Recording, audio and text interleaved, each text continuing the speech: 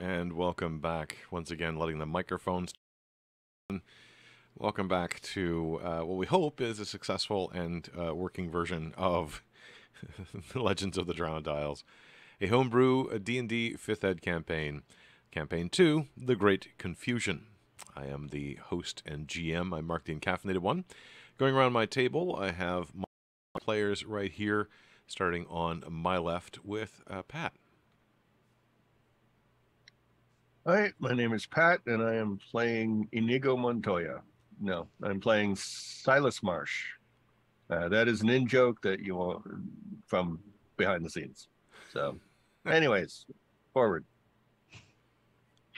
Hi, uh, I am Marie, and I am playing Annie, and I will be monitoring if anything is going on on Twitch. If anything, if you cannot hear us, let us know. I'm Nax, and I'm playing Medric, half-orc cleric, and I currently have cat aggro. so, uh, as was alluded to there, and if you happen to be someone who's watched some of what we've done before, you might be wondering, hey, wasn't there supposed to be like an episode a while ago? And there was. Um, there were some audio setup problems with uh, the new arrangement that I've made here. Uh, and so all of my audio was missing, which, frankly, I talked too much. So a lot of the exposition, unfortunately, was lost uh, and uh, expanded and expounded from my notes, meaning um, that it is now lost in the ether. So we're going to not recreate, but we are going to have a scene in which we'll try to um, rediscover and uh, talk about what happened. Hopefully, this time properly recorded, so that we all remember. Uh, which hopefully means that not too many details have have been left out, uh, but there will inevitably be a few. So, do apologize for that. That said, um, in a briefish version of a summary, uh, there were further deals made, there were further arrangements made, and th- further discoveries made uh, in the house in the ether when the entirety of the Harquin mansion was pulled into some extra planar pocket, um, apparently by a, uh, well, what people have referred to as a hag. That seems to be a convenient handle to describe uh, Crypt Wallow for the moment. Uh, and in exchange for some help, um, Silas uh, uh, both bargained on behalf of the people here, uh, as well as bargaining on behalf of his uh, distant patron, the Mother, or Mother Hydra, um, to have some assistance in returning or bringing Mother Hydra to this plane uh, in return for helping to uh, solve Cryptwallow's problem, in particular, one of the hags who was uh, involved in a scheme, it seems. Some of the details still aren't exactly clear, I think, to people, but a scheme to bind an ancient dragon uh, and thus increase their own power. The ancient dragon seems to have been bound uh, to the Baroness. Some of that you have yet to really convey back and forth, uh, partially because Silas was um, semi isolated in a semi plane uh, and not able to speak freely. Nonetheless, another uh, assailant at the party was someone who had beef with the Baron, uh, sometimes known as the Diamond, sometimes also strangely known as the Shadow, and also sometimes referred to as Gald, who apparently is the brother of the Baron in a previous life or previous experience. Uh, Gald accused his brother of having left him to die back when his brother was a notorious pirate. Now, all of that is in the past. The, the world has shifted once again. The, the anchors, which seemed to be some sort of demonic entities, were released, uh, making the entire uh, Harquin mansion return once more to the, the material plane. Strangely, though, most people don't seem to have noticed that the party was disrupted by this alternative experience. Most of the partygoers, in fact, have no recollection of it whatsoever, or at least don't seem to. The only definite impacts, uh, as you notice, that Ardwin Cartwright uh, lost an ear due to some intervention that you were doing before in plucking off of his transformed face a large jewel to give to one of the demon anchors. Apparently, that His ear grew more back though because I. I give him a, a heal. He healed, but his ear did not grow back. Not Uh, even a little bit. That's a not- different spell. That's an Yeah. entirely different I'll uh, learn it later. altogether. Um, however, after being administrated to and having several glasses of wine, uh, it's become the talk of the store, a talk of the, the party, and without too much pain, uh, or at least much not, not much more than annoyance, uh, Ardwin has turned it to his favor briefly. Um, the only other noticeable changes are the looks that Melora and Verendel are giving you.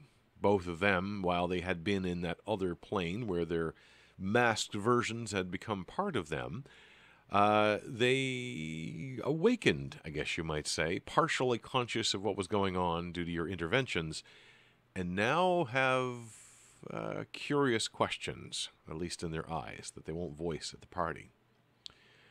Meanwhile, Silas, who had snuck into the party and had been dragged along when the house transformed into this other uh, space, and who himself had transformed not into a representation of his mask, but rather into a half form in a demiplane, has also been returned to his corporeal self.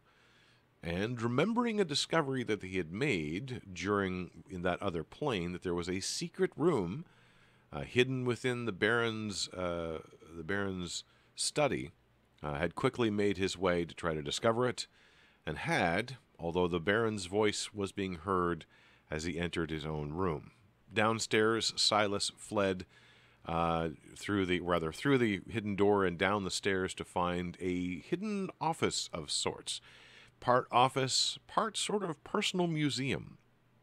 Uh, a what looks like a collection of things that a seafarer might keep as memories and sometimes valuables of perhaps the storied previous lifetime as a pirate captain. And so that's where we're going to begin. Um, also, nowhere near at the party, or nowhere after uh, the party, did anyone see um, the the uh, the deer and the doe, which were two of the costumes being worn. Um, you had figured out uh, partially that the deer was actually uh, actually the diamond and or Gald, uh, and the doe was Veer, uh, who you had met before, the druid who came and and uh, put out the massive forest fire, which is when you first met uh, Veer and Gald on the road. Uh, So we- Did successfully do that one job. Did find him. We just didn't know we found him. Exactly. Exactly. It seems as though maybe you were on the right track, just didn't realize you were. And also, the, the, you also discovered that it, it wasn't just the diamond who was potentially whaling uh, uh, carts and, and wagons back and forth uh, to the city, because you actually discovered a whole cult of of uh, feverishly hungry.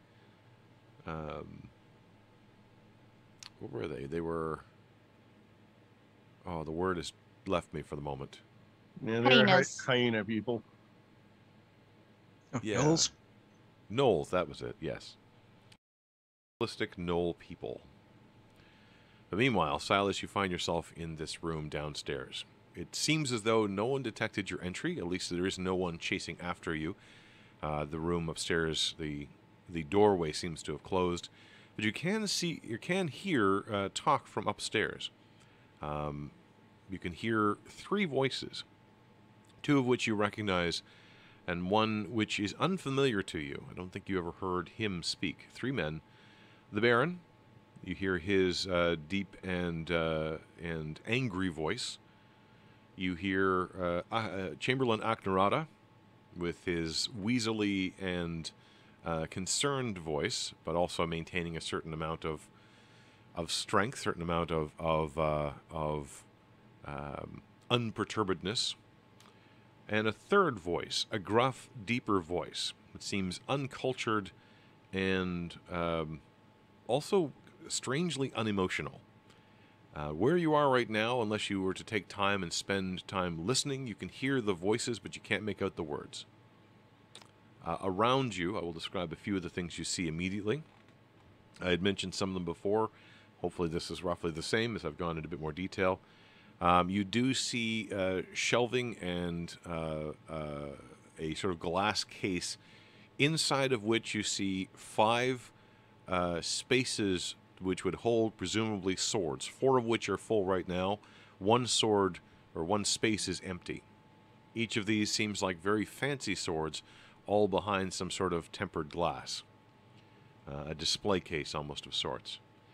Another part of the room, you see uh, several large uh, sea worn uh, uh, trunks.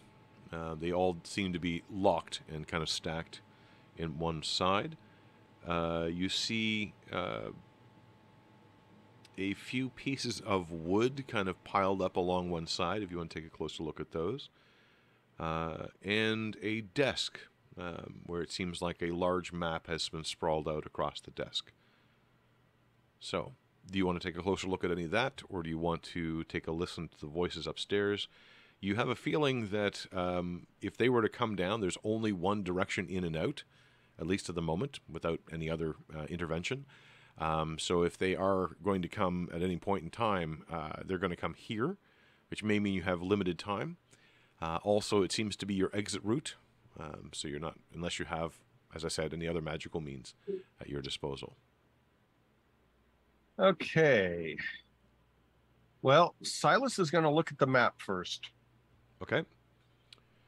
Um, do you have any sort of uh, navigation or ship uh, ship traveling skills? I think you do.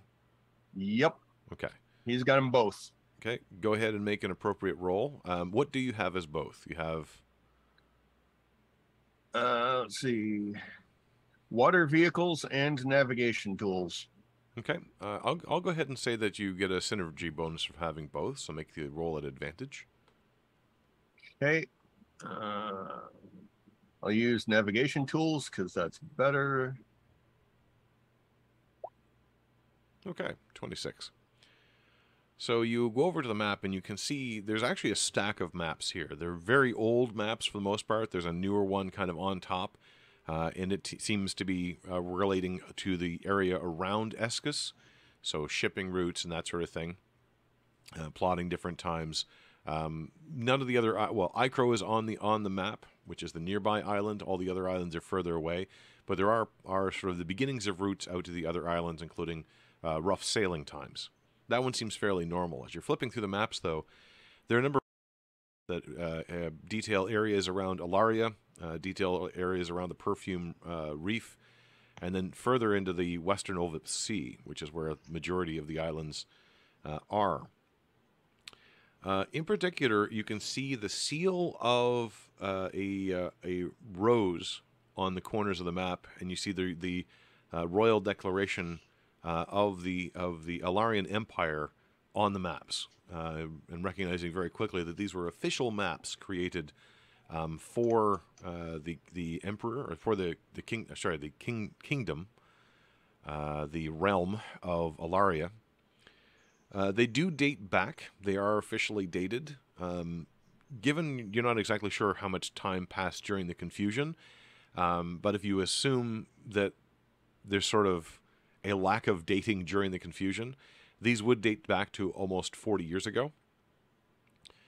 Um, and they seem to detail a couple of routes. In particular, they they note uh, the the passageways of a fleet, the, the first fleet of the Alar- Alarian Navy, including a planned side route for the personal ship of Admiral Montrose.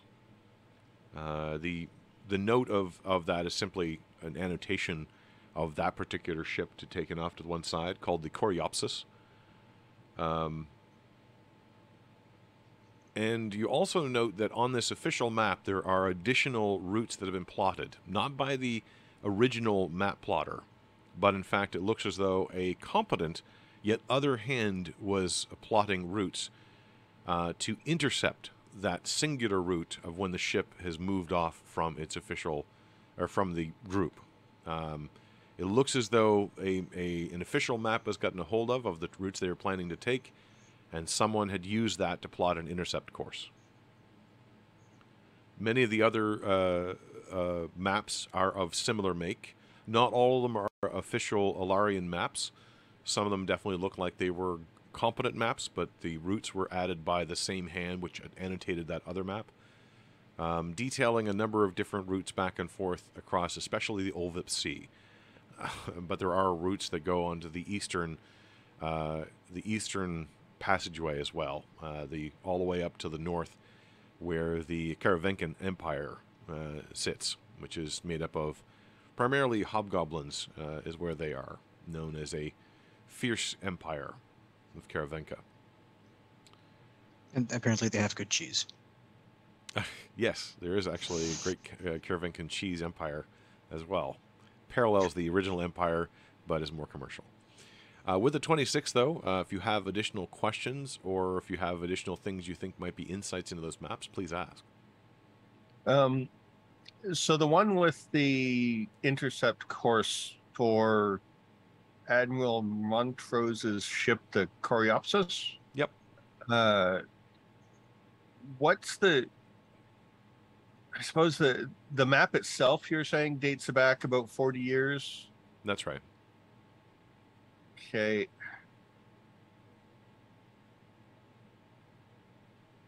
Hmm. Okay.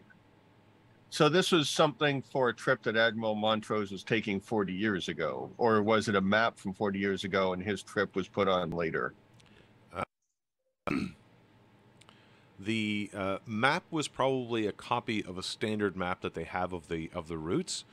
The individual routes that were added for his fleet and for his side mission, um, those are dated back to 40 years ago. In fact, there would be an annotation from the the uh, the cartographer himself that added them on, so it was it was an official route. Um, but the map itself is an older map, as the seas have not changed much, and they've been mapped out a long, long Yeah. time ago. So the tri- the Admiral Montrose's trip was 40 years ago, That's right. near as we can tell with all the weirdness. Right, 40 Um, plus, who knows? Where was the the Coreopsis going? Uh, it was traveling to. Oh, I didn't note that, but it should be to one of the islands in the uh, eastern Olvip Sea. So it had been traveling along. So uh, as as a, I will. The island specifically doesn't happen to have any particular plot instru- Yeah. importance at the moment, but not our island. not this island. So the the the map route, um, to give a, a brief geography, um, Eskis and Iro are essentially in the north, or sorry, the southeast corner of the world, if you will. Uh, to the north is where the Alarian Islands are, and there's a narrow corridor which leads from the Alarian Islands all the way up to the Karavenkan Empire. To the west of these islands is another narrow corridor. In the middle is what's called the Perfume Reef, and on the other side is the big uh, eastern Olvip Sea. Uh, and in that eastern Olvip Sea, there's a number of different islands. Uh, the characters have encountered Takara before. Um, there's also uh, uh, well, I don't I can't name them all off, but there's a number of islands in that area, Yeah. including several which are uncharted because they're charts. Okay, so it was to an island that's to the west of us. That's right, to the far Okay. west. Yeah. Um, Now, actually, with your with your knowledge of the sea, this is a common trading corridor. Um, it's it's difficult sometimes to get through the Perfume Reef, but it's very much worth it. Uh, the alternative is literally sail halfway around the world or try to go. Um, well, there really isn't much overland that you can go. Um, so it's not uncommon for a lot of goods, especially silks and uh, metals and so forth, to come from the Western Sea or the Western Olvip Sea all the way over.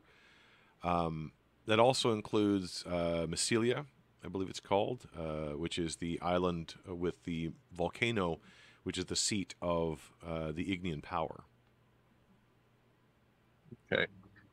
um, I don't think I have anything else for the maps. Okay. Um, uh, this is is, is this a desk with drawers in it that the, that the maps were on? It is, yes. Okay, uh, he'll search through the drawers. Okay. Uh, go ahead and make an investigation check. Are you going to do this quickly or are you going to do this taking your time? You can still hear the voices loudly Um, upstairs, so at least for the moment, there's no concern, but you have more time. See, um, he'll take his time with this one. He can be quicker with the other stuff. This is probably where anything important is. Okay. Uh, uh, investigation. Okay. 18. top couple of drawers are pretty basic. There's quills and ink. Uh, there's uh, rulers and protractors plotting on mats. Um, there's also a couple of, of uh, compasses there. Um, you do kind of notice the compasses. They're fairly small. They're they're about palm, smaller than palm sized. Um, the one odd thing you notice you pass by them is they do not point to north, which is kind of strange. Uh, but they do otherwise look like normal compasses. Um, that's kind of the big broad uh, drawer just underneath the top of the desk. If you go down the left hand side where there are uh, another drawer which has uh, what looks like blank pages and, and uh, official scrolls um, or official um, uh, official paper for scrolls. Um, they do con- contain the seal of the, uh, or rather the, the imprint of uh, the uh, uh, Alarian realm. Um, essentially, it's official paper that would be given for official documents sent back, probably to the the uh, the king and queen, as well as some wax uh, in that one. And the furthest one down you find is locked. It's a uh, fairly large drawer, um, but it is locked, um, and so you kind of pull on it and no opening. Um, Hey. Uh, he is going to pocket one of the strange compasses. Maybe Okay. we can figure out what what's strange about it later. I have no spell slots, and I'm not going to spend ten minutes on casting detect magic. Um, uh, he will take out the gnomish tinkering tools and try to open the lock like he did with the door, based purely on luck. Okay, go ahead. They are good tools, so that does help. That gives you advantage, but Sorry. they are good tools, and I believe Oh, that yeah, gave you yeah. advantage before. Uh, yeah, I don't have uh, thieves' tools, so I'll make a dexterity roll. Wow. Okay. Double eights, Perfect. unfortunately. Uh, the uh, the locks uh, very very sturdy. Uh, it looks as though this this for this heavy wooden desk, uh, it was the locks were specifically built for this desk, not added after. Uh, and unfortunately, you're unable to to pick the locks. Okay. Uh, gotta remember to buy a crowbar for when I don't have any around. Don't you have the bag of holding? I suppose if your crowbar's in that, yeah.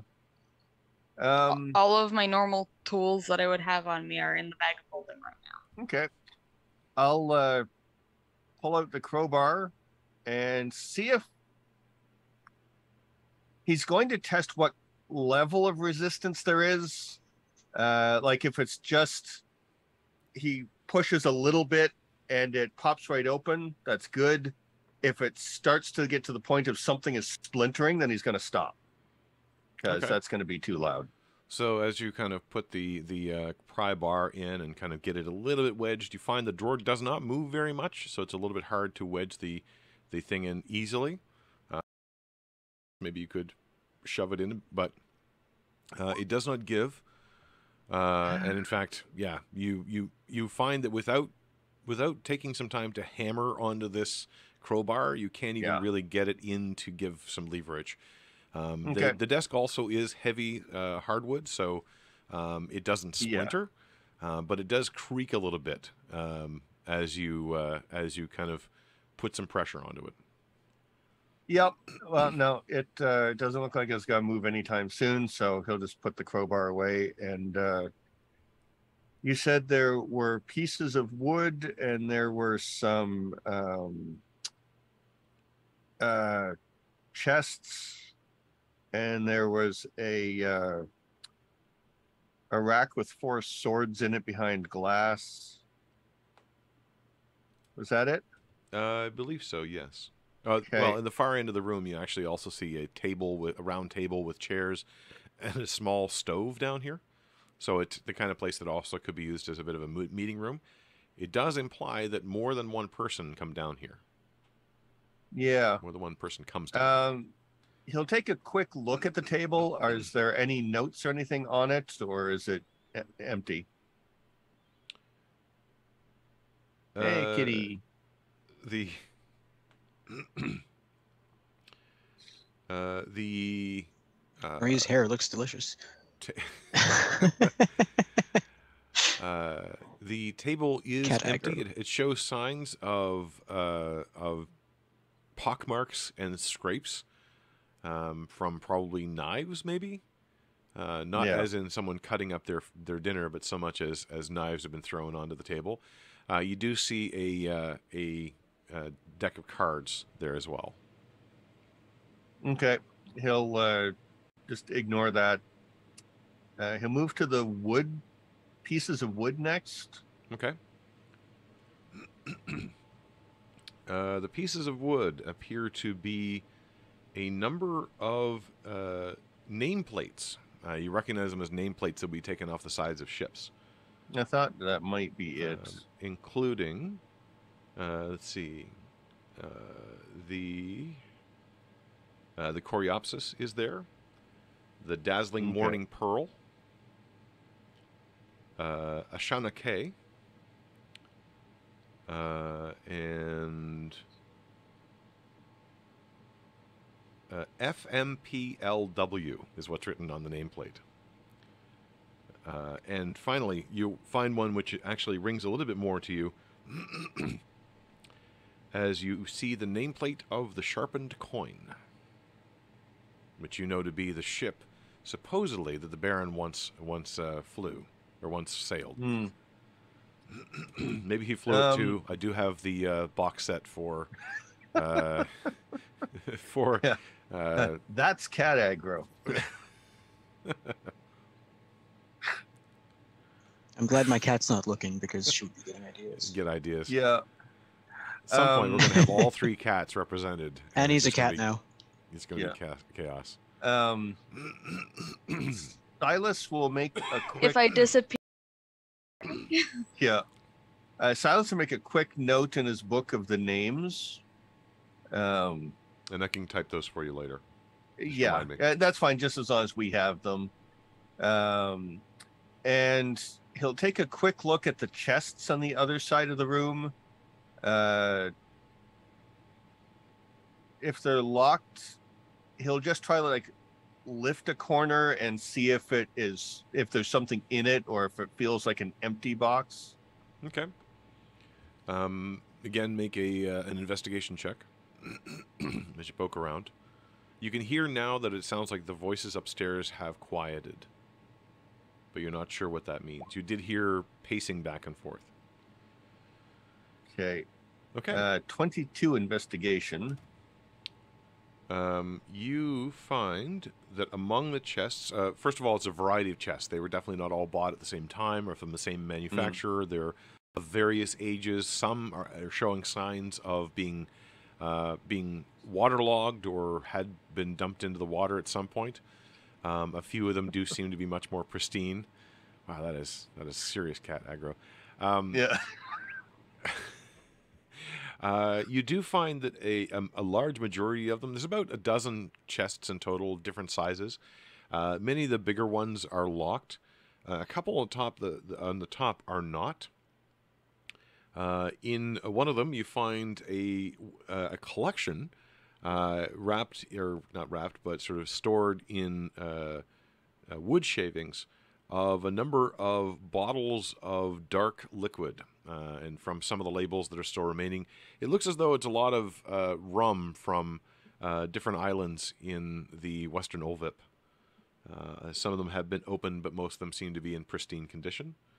Uh, so there's about a uh, a dozen bottles, um, some very large and wrapped in um, kind of that sort of uh, uh, plant fiber web that's sometimes wrapped around the bottle of them. Hmm. Um, some of them look like they probably were refillable bottles or had been refilled, so they're not necessarily as exotic as others.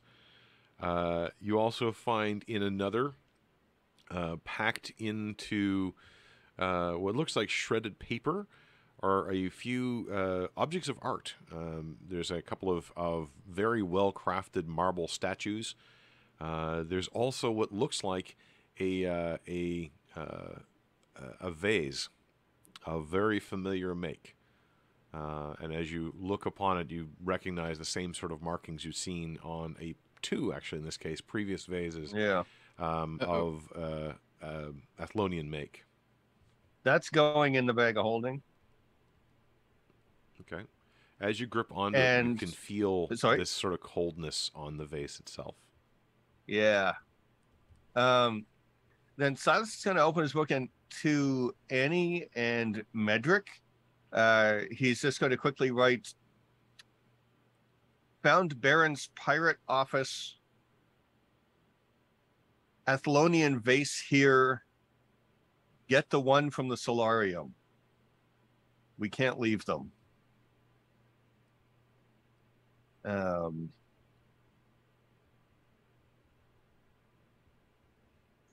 and yeah, I don't. Oh, He's really not equipped to uh, open up any of the other stuff. So You do kind of tap them a little bit, and you can tell they are filled with different things. One of them kind of jingles Yeah. a little bit as you tap it, which means it's probably full of coins, uh, but extraordinarily. how heavy is it? Yeah, extraordinarily heavy. We're talking like a few thousand coins, probably, so several hundred Yeah. pounds. Uh, actually, is it under three hundred pounds? Um, probably not. Not for the whole chest. yeah. Oh well, too bad. Um. Well, I think he is going to sit down, and he will start casting detect magic ritually, but he's ready to uh, get to either confront anyone who comes down or to get out. Uh, if it uh, most likely somebody comes down before 10 minutes have passed. Okay. Uh, well, as you begin Uh, to cast that spell, uh, we'll turn over to Annie and Medric, who have heard this message in their heads. Uh, found another vase, must get the one from the solarium, can't leave it here. Now, the party is still kind of going, but winding down. The musicians have all retired. It seems as though the lead musician that was there and seeming to lead the whole thing is vanished. Don't know where they went to. Um, although you might have a suspicion because I believe you recognized uh, Dale, who had been among the band and potentially uh, manipulated the music to his own ends.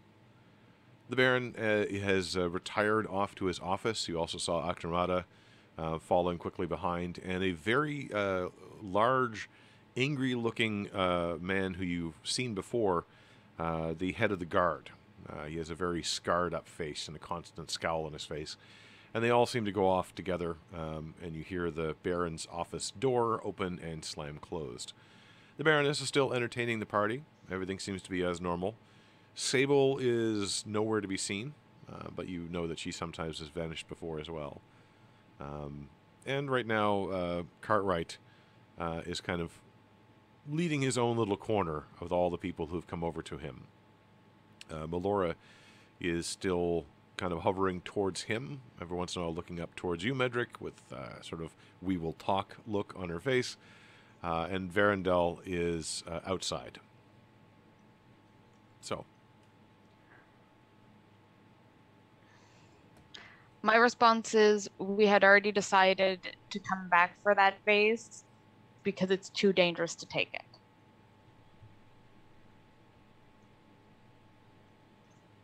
Uh, Can we switch the map to our characters? yeah, just uh, Because other than the bag of holding, none of us have any way to get anything out of the building. Yeah, that's a good point. We can tell you where it is. Pick it up later, or we can move it somewhere convenient. Uh, well, he was in. He was in the other world's solarium. He might be able to get to this one. I and have a plan. I will switch over to the map page, but the folks, you folks should be able to see. This is a rough approximation. People have have moved around a bit and and uh, having all. Uh, oh, and with the Baron trailing behind, uh, you did see uh, the uh, the Raven, which you had recognized from the other world, is here and traveling with uh, the Baron. And we'll just leave you right there. Uh, I don't know if I know where Ardwin is on this particular version of the map, but we'll just uh, uh, leave it as that. So weirdly, the party has kind of go back to normal. Um, and I'll say the Baroness is back in her prime holding court. So you sent that message back. There is an opportunity here if you want to do anything in terms of talking with uh, the people here, but the party is definitely winding down. Um, if there's nothing in particular you want to do, or if you want to bug out now, you certainly can do so. We can go back to finish up what uh, Pi- what Silas was doing. I'm trying to think of a way to. Uh, I'm assuming I'm next to Annie, and we were just discussing this like away from any prying ears. You can easily find a quiet corner. Okay. Yeah. There are still Was there, like, servants a buzzing about, and they still flower are, are, Pot are- anywhere. a flower pot. Uh, sure. I'm asking this to both Annie and the DM. So what what if we took the vase and put flowers in it and left it in a corner, and then told Silas where it is, and he can just walk away with the flower pot? because that doesn't sound like a good idea. Someone else could take an- another servant could take it. It could get broken. Well, And the the vase was sealed, wasn't it? Yeah. Oh, okay, Yeah, it's, it's one. Yeah, it's one. Like these ones we can't open. We don't want them open. gotcha.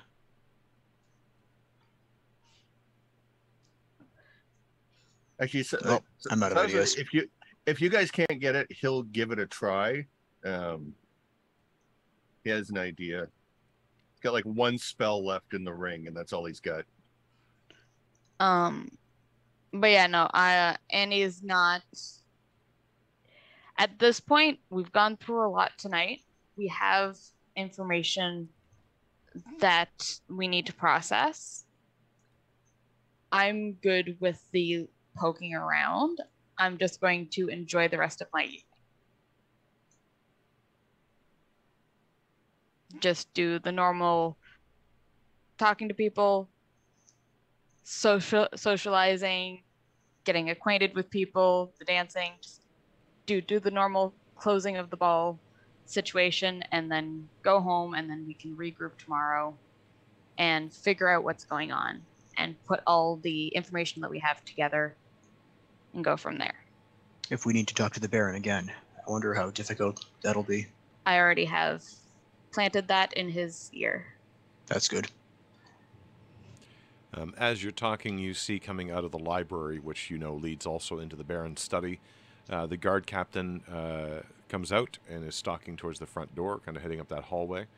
Uh, you can find him right there. And Aknarada comes out, uh, steps kind of before, trying not to be uh, obvious about it, but kind of steps out into the hallway and then takes that moment to straighten his uh, doublet uh, and kind of arrange his mask a little bit more, uh, freshen himself up, and then goes from a somewhat worried expression to uh, it melts away to a very practiced smile as he walks out into the area uh, and talks to a number of people along the way, and then strides into the ballroom. Kind of, if you hadn't have seen that moment of transition, you would think there was nothing wrong at all, but that does indicate that for whatever reason, uh, uh, Va- Aknarada was a little bit ruffled, but quickly transformed himself. I'll point him out to Annie. Did you did you see that? He looked really worried. I mean, I did just basically provoke the Baron into uh, with information that we need to discuss about gold. So, and I am whispering this. Yeah. Okay. Um, about five minutes into your ten minutes, Silas, you hear the uh, sound of the secret passageway upstairs uh, opening. Uh, it's very, very quiet, but it's very, very quiet down here, and you're just focusing on the spell, so there's not really any other noise you're making. But you can hear um, the opening upstairs, and then do you remember when you were coming down? Maybe you don't remember. Maybe you didn't really notice. There's the stairs were a li- needed a little bit of work. Uh, maybe you missed it on the way down. Maybe you were lucky, but you do hear heavy footsteps on the top of the stairs, and coming down in your direction. Okay. Um. Hmm. Where are the stairs on this? Uh, on Is this that up at the top? that's right. There's two sets of stairs uh, that, that are there. Okay. So one is coming down, the other one is They actually both go up from where you are. Uh, Okay. It seems as though they were meant for other purposes and then closed off and then made part of this room. okay. The ceiling here is fairly high. It's about a 12 to 14 foot ceiling. Uh, it's a you're in effectively you're pretty sure you're in the basement, which would have had a large amount of storage capacity. This small space must have been carved out of it, or something like that. Okay. Um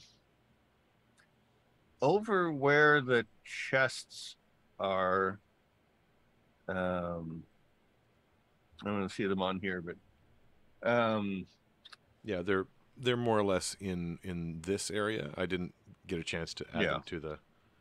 uh Silas is going to crouch down uh near the chests on the side opposite from the stairs and just make it look like there's another chest around him. okay. Um, as you're crouching down, similar to the other bigger chests. as you're crouching down by the chest, you actually notice that there is something that was knocked over. It looks like a mannequin of some kind that was wearing a heavy suit of armor. It's kind of uh, blue uh, and black shades, um, and the armor looks like it's a really good quality armor. Um, it has uh, workings in the leather of what looks like spellwork um, that seem to resemble sea creatures. Strangely enough. Hmm. Uh, and go ahead and make- that's uh, and that's uh, lying down on its side, like the mannequin was knocked over and the armor is on it. That's right. So it was a standing mounted thing at one Okay. point, but it was knocked over. There's a bit of Does it look on like it I too, can so lift the mannequin? You can certainly try. Um, the armor looks kind of heavy. The mannequin is probably light, which is one of the reasons it was probably top heavy and fell over. Because um, ah, dang. Okay, yeah, he'll just uh, sort of sidle up next to the mannequin and uh, hide under the illusion of the chest. Okay. He'll see Um, what's going on. Let's see here now. Do, do, do. As you hear uh, the Baron um, talking um, conversationally, um, and you hear occasionally the response of a caw uh, or call of a raven. I forget. What, crows caw. What do ravens do? I think it is a gronk kind of thing. Um, Yeah, ravens are something like a gronk. Uh, but you do kind of recognize that it's not just a random noise that seems to be made. It does appear to have some some weirdly timed intelligence behind the responses. I'm pretty sure I know who the raven is. Um, you I really want to hit it with a magic rock. uh, oh right, I could open it up in here. Um, sorry, I've got two different browsers by mistake. All right. Uh, and you hear you hear snippets of the conversation. Uh, the Baron is, uh, and I won't do it all in real time, but just the, the conversational bits. Uh, the Baron is concerned by what the captain told him, but doesn't understand why he doesn't remember it. Um, doesn't understand how this alters the alters the deal, or how, or how this uh, endangers the the Baroness. Um, seems to be a lot of genuine concern, but you can also do an insight check if you want to try to understand it better. Sure, I'll give it a try. I'm gonna plus one. No. Um, yeah, it's it's a difficult, complicated emotion, and he has a kind of a, a he's dropped the the sort of formal presentation he had uh, uh, before, so it's it's kind of almost a more crude sounding voice, um, and you find it difficult to kind of interpret because it doesn't fit with what you had before. What is I'm too the focused on the crow. what is the the DC of your illusion? Uh, let's see. Da, da, da, where is my? Let's see. I have it here. Spell. Uh, the save for an intelligence investigation check is 15. Okay. Um, I will make him roll uh, this one, which is a little different, but it is. Uh, there we go.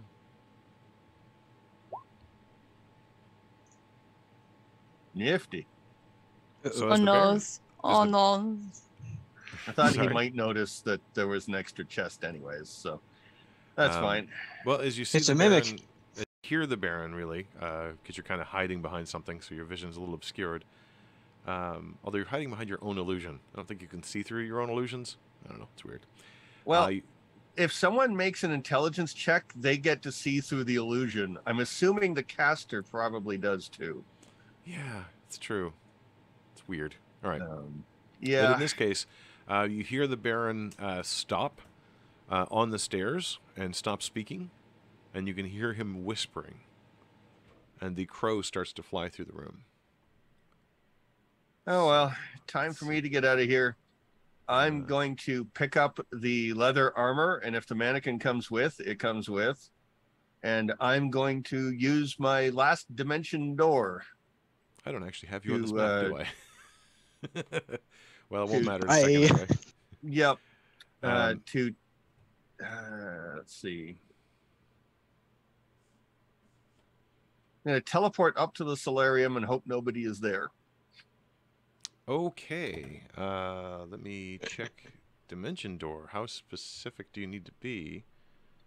Uh, Uh, it's within 90 feet to a place that uh, I think you know exists. Let's see. yeah, some of them are, are picky. Like you know, have to teleport. You have to have been there. Or Yeah, well, dimension or- door is what I use to get into the room from outside. And there I couldn't even see it. I just knew where the We- room was. I think you could see through the window or something, but um, it's at least a direct line of sight or a direct line. Uh, let's see. Uh, dimension door. place Teleport see, from current location to any other you spot within range. It can be a place you can see, one you can visualize, or one you can describe by stating distance and direction. Okay. Uh, let's see. And I can bring along objects as long as their weight doesn't exceed what I can carry, so 150 pounds. 150 pounds. Okay. Uh, all right.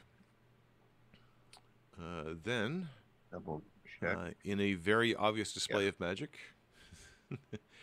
uh, hey, they it's behind. It's still behind the the semi see-through illusion. yeah, but it, it they they knew something was up. Yeah. Um, There's a bamf. uh, there is most definitely a bamf to the main floor. And I don't know if I have you on. I do have you on this map. Okay. While things are buffering, update on the cat. She's now sitting on the uh, freezer and staring at me because she's mad that I won't let her lick my hair. Yep. tasty, tasty hair. the Um, spiteful look. Mine, mine is sleeping right now because she's old. Now, remind me as you bamf away uh, to the other side. Um, had you been in the solarium in this plane? No, Okay, I thought so. he just they basically he knows it's. I don't think we were. Is that the place that had the library with books in it that I talked to? uh that was upstairs. Yeah, yeah. Dr. that was Jordy. the the room with like the, not the fountain, It's like got a this room here with the fountain thing. Yeah, it's got a Yeah. pedestal. Um, I Basically, it- it's a former altar and a former worship Yeah. room that was transformed. We were in. It, it was in this plane that we were in it because I got the Stankai from uh, Varendell when I picked the lock. But Okay. I wasn't with you. Yeah, I, I don't think you you were. No. Uh, so basically, it's he's doing it from the location that it was in the other one, but no, he hasn't been here himself. Okay. Uh, in that case, two things happen.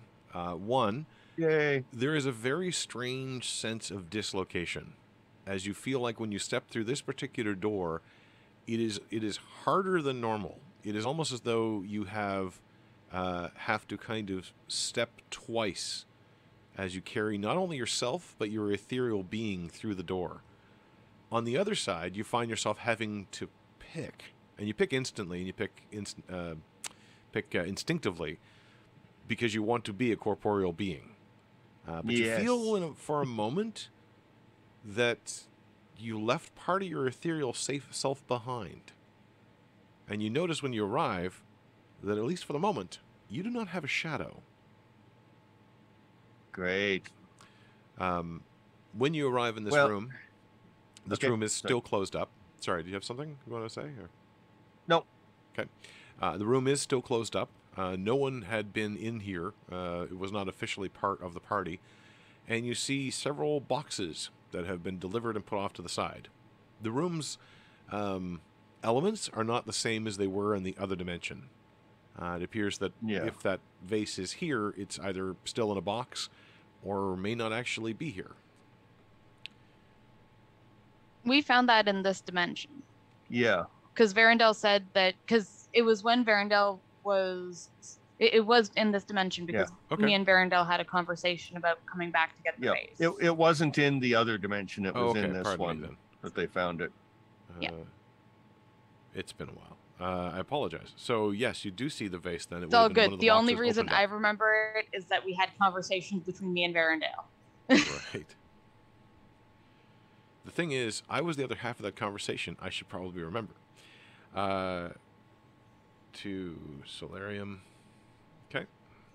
So in that case, yes, you see the open boxes where this has been uncrated, and you can see while the top of the crate has been put back, it hasn't been nailed in, so it's easy to see. Yeah.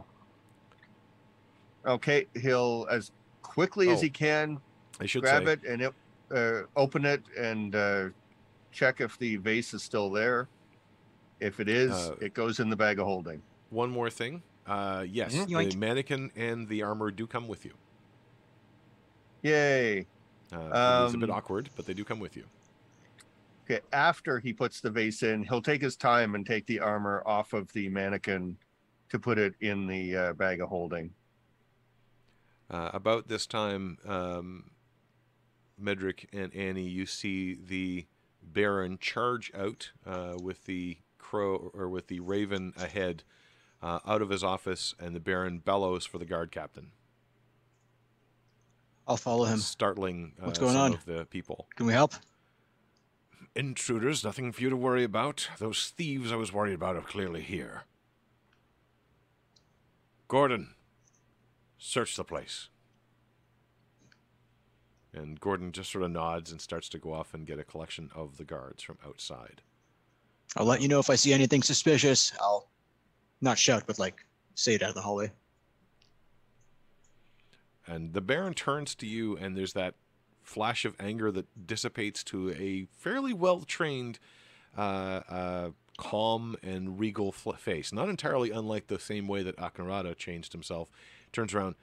Thank you. I'm sorry for you to be bothered by this. There are still apparently elements that we have to stamp out in the area.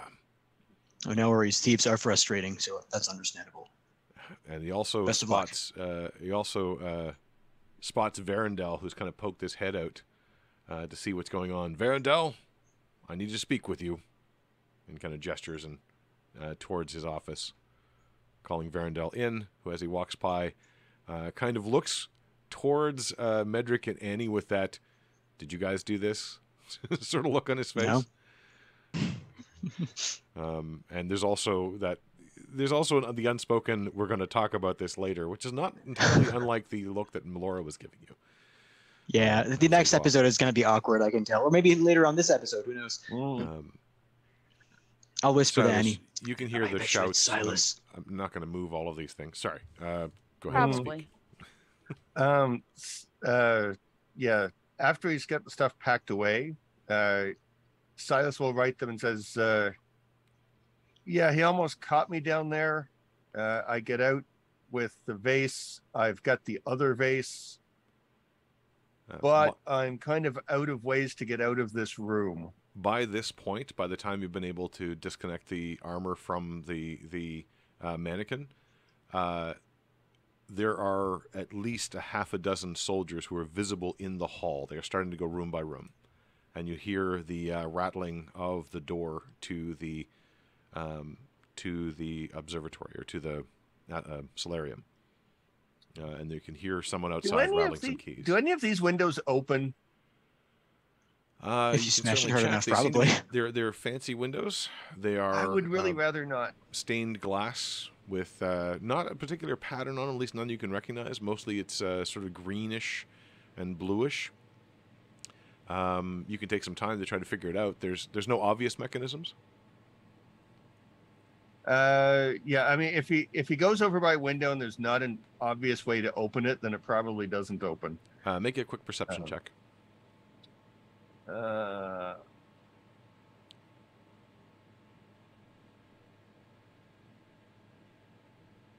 I hit a button, but it did not happen. There we go. Twenty-one. There you go. 21. Um, yes, you do notice. In fact, there the lower uh, uh, the, the lower part of the window does open.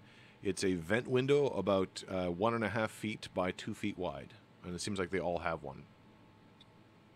Yeah.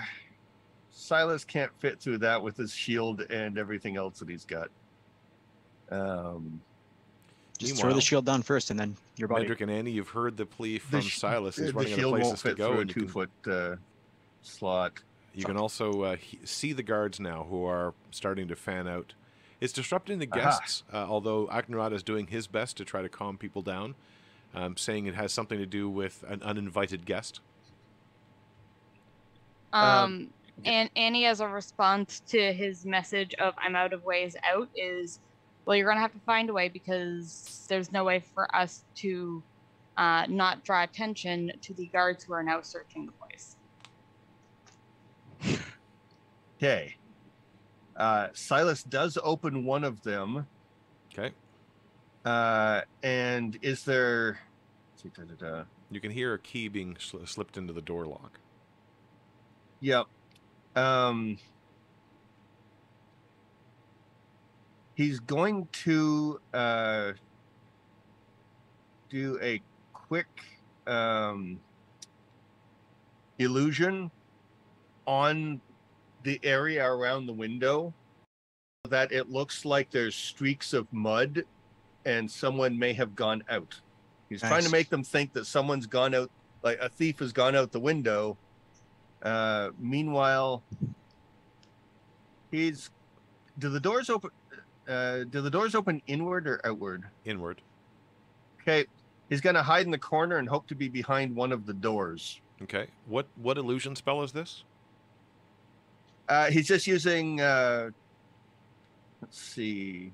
Won't bother with minor illusion. He'll use the uh, major illusion one there, the one they can do at will. Uh, it covers like a 15 foot cube, but he just needs it to cover the surface underneath the window. So it looks like someone tried to scrabble up it and out. Okay, just checking a little bit to make sure I understand. Um, do you remember what it's called? Because there's no major illusion spell.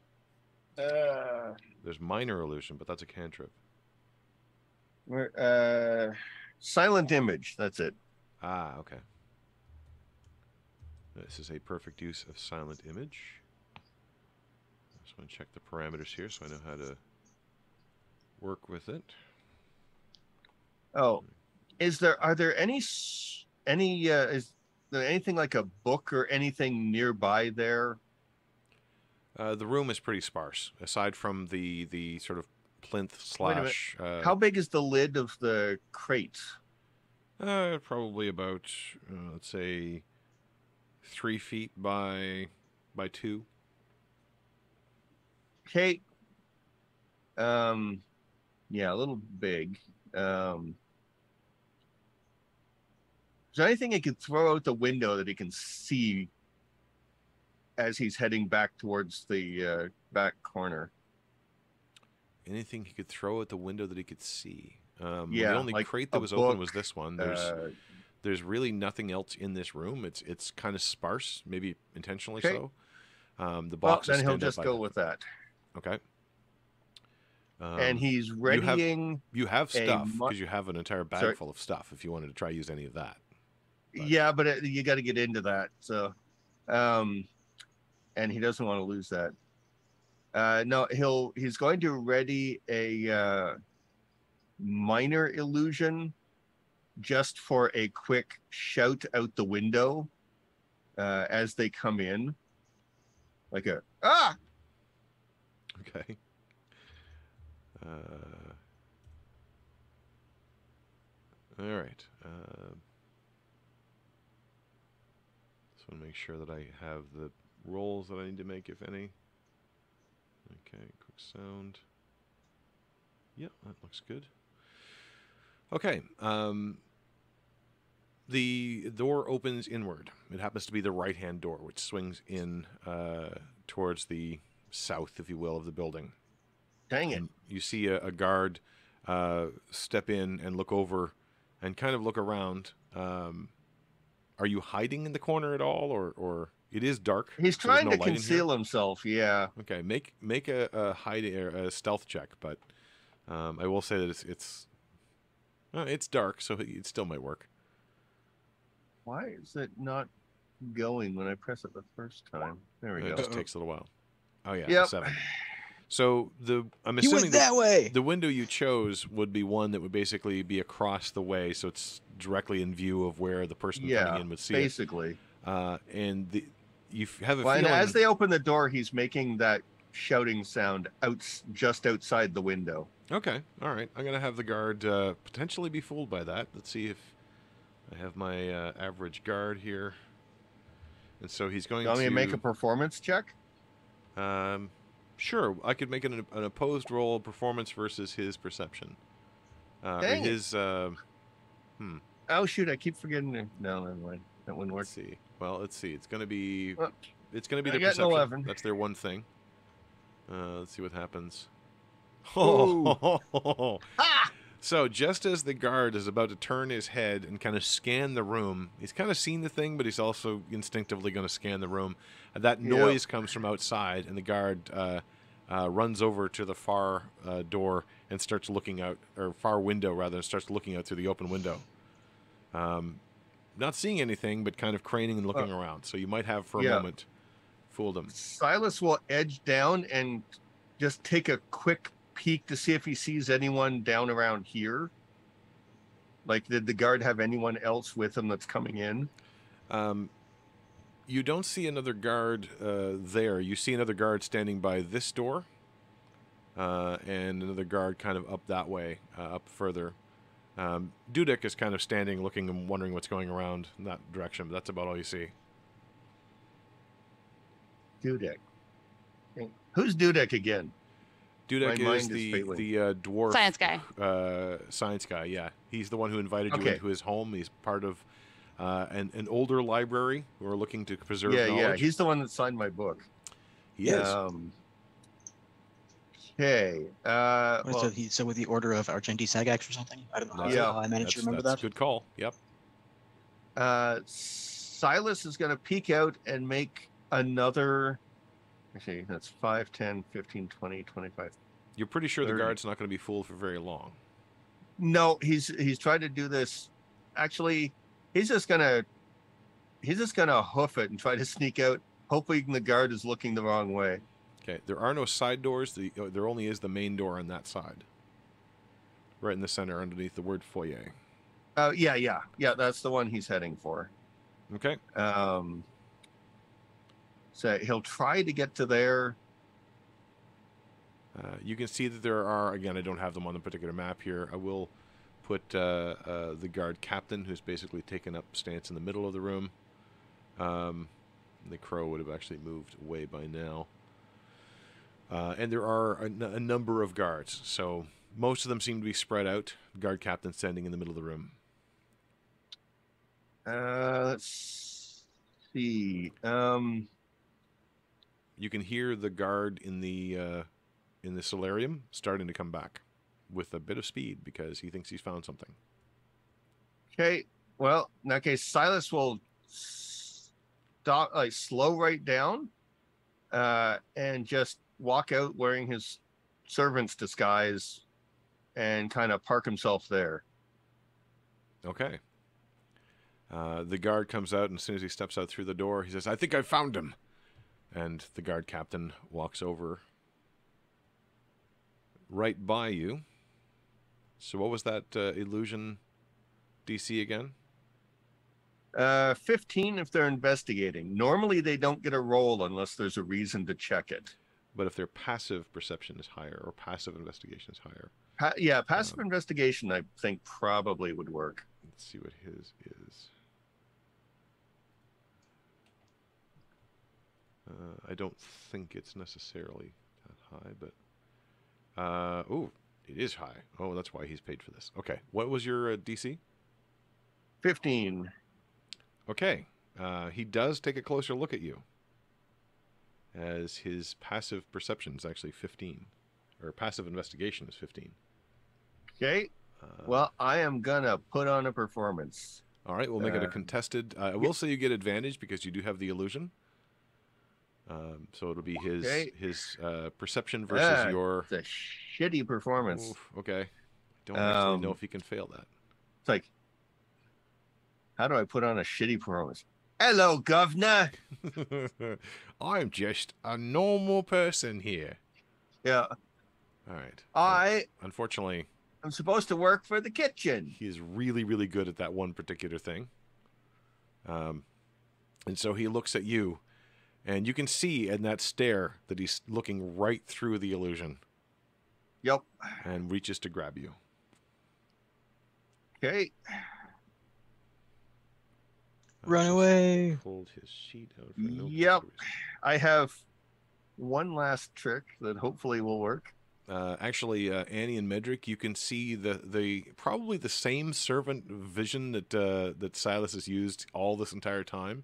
For the most part, it's been the same one.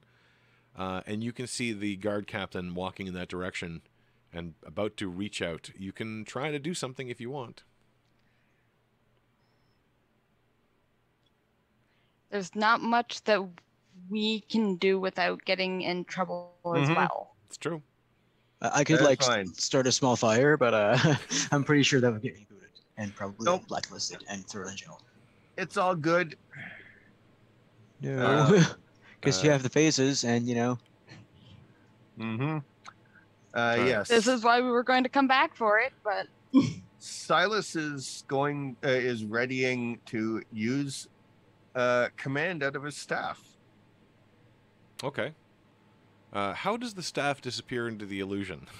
staff and shield both have to be there physically. I, well, the thing is, I don't know if they normally do because it re- it says that it replaced like it can change your clothes and stuff, but it doesn't really comment about other things like that. Uh, Yeah. I'm going to assume that maybe the staff has become, um, you know, those lantern lighting rods sure. uh, that like for lanterns high up, they would have like a long rod that you could light a flame on the end and hold it up to the the chandelier or whatnot. okay. Yeah, I mean, uh, uh, it could also be a broom or or a mop or something. Uh, and the shield, it could just be something that's clo- you're close in. It just means if Well, anybody actually, hands you Uh, yeah, if the shield side. has to be there, it will be his serving tray. That's what he was using earlier. Okay, all right. Uh, so he's going to reach out to grab you. What are you, are you going to try to intervene before he does? Uh, yeah, I'm going to cast command and tell him that uh, he should flee. Okay. And What's the save that, on uh, that? Works. Uh, command. It's probably a wisdom save. Okay. Pretty sure it's a wisdom save, actually. Um, you you you probably notice because he's this close the slight taper of his ears. Um, somewhere distant elven heritage. Yep. Um, and is it uh, is it Uh, uh, uh, wisdom? Still trying to get to it. There's so many COM and CON spells. Right. Command. There we go. So wisdom save has Okay. no effect if the target is undead. Well, congratulations, he's um, not undead. Also, half elf doesn't matter. It's not a charm. Um, he has elven heritage, and he has advantage against being charmed. Uh, it But it's not a charm. Um, command is a charm. Nope. Command is just a uh, straight up make you do something spell.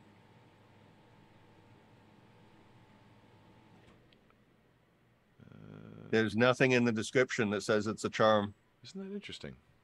Most of those do Yep. follow along the charm thing. That's interesting. Okay. No, Well, where- because it's usually you're befriending someone. right. Uh, in this case, you're not. You're just forcing their mind to do something. Not Okay. manipulated. He's not getting manipulated. He's getting told. hmm I don't remember if there's any other features and traits. I'm going to assume there's not, and if there is, then he just learned it after this. Uh, this is a wisdom save. What's my target? Just to make it suspenseful. Fifteen, Oh, that's tough. Okay. I think, because that's it's still the same as mine. He fails. So as he reaches out towards you, you utter this command, flee. And his eyes go wide and he runs. Uh, and he runs quite. Uh, let's see. Oh, yeah, he's pretty fast. What is he anyway? I keep forgetting what I built him as. Oh, right. Okay. Yeah. So, in fact, he runs very, very fast uh, and goes right through the front doors, opens them, uh, and then runs out into the courtyard. Convenient. The door's open. Okay, Uh, yes, leaving the door behind him because he's not going to pay any attention to that. And he runs straight out, which, Well, uh, you know, okay. causes a few raised Um, eyebrows and definitely seems strange to Medric and Annie. You see the guard coming out now, uh, yelling out, In here! I think I found him in here! He's uh, approximately, well, he's right in that junction. And you sort of saw the captain run away from him for Uh, some reason. Silas, trying to maintain the performance, will say, "I'm with you, sir," and will run out as well. Uh, these side roofs Yes. is that like is it free to walk under those or are those like Yeah, those are those are basically debarking areas, so that's where they can bring a, a wagon up and have some cover while they while they while they disembark. okay so could i run like through over to this side Uh, it counts as difficult terrain when you're moving through it, but yes, you can. sure i will flee as fast as my legs can move and while he's not looking at me i'm going to become a i'm going to become yellow lace Okay. And slow down and uh look like what's going on blah blah blah i'm a scared rich person Okay. who's Uh, for some reason making for the side corner. You do hear as you get over that space, um, because this is happening. Basically, all that's movement, and then the spell in your round. Uh, he only is commanded for a, a, a single round. Uh, Yeah, yeah, You do hear him yell out from behind uh, behind you, guards, and call for more of them. Uh, however, um,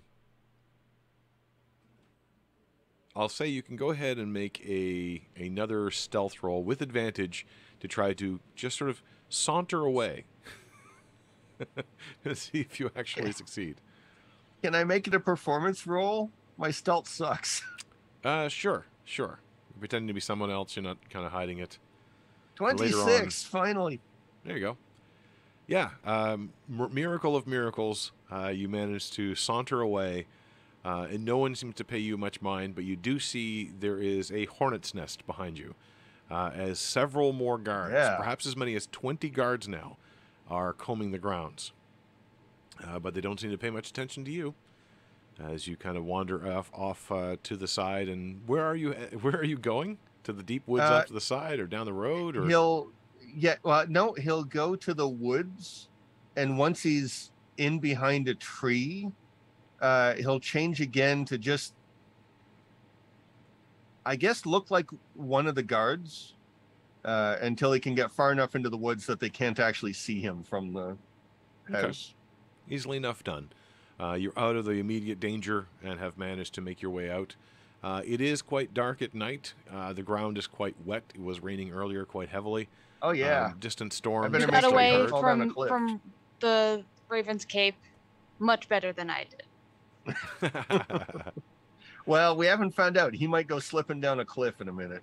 um, where are you intending to go? You do know that the sides of the cape are really steep. It is essentially a Yeah. a, a straight up and down. Took me a full week to to recover from falling down it. Yep. Um, The woods do parallel the road all the way down, but that is a very long walk. If you want to go back to the uh, to the village, not to uh, but to the marsh village, um, you can make your way from there, but it's also a very long walk. Yeah, Well, he's used to long walks. Uh, he will stop to write them a message saying, uh, "I get out. I have both the vases. Sorry about the commotion. Um, I'll head to the village. Uh, we can meet up in the morning wherever you want to. Uh, I assume the three sisters.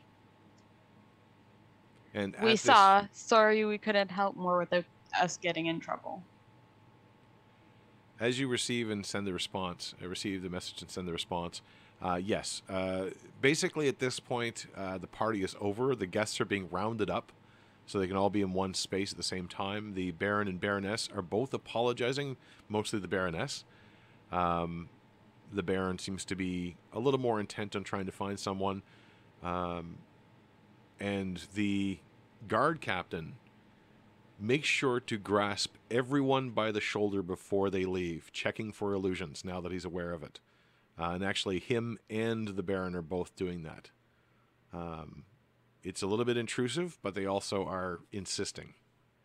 Uh, and while there's a little bit of pushback from, uh, from in fact, Yellow Lace, um, who seems to be quite bewildered as to what's going on, doesn't understand any of this, seems to be completely unaware of anything. Uh, and a little bit of pushback from uh, from um, shoot, what's her name? I don't even have her on the map right now.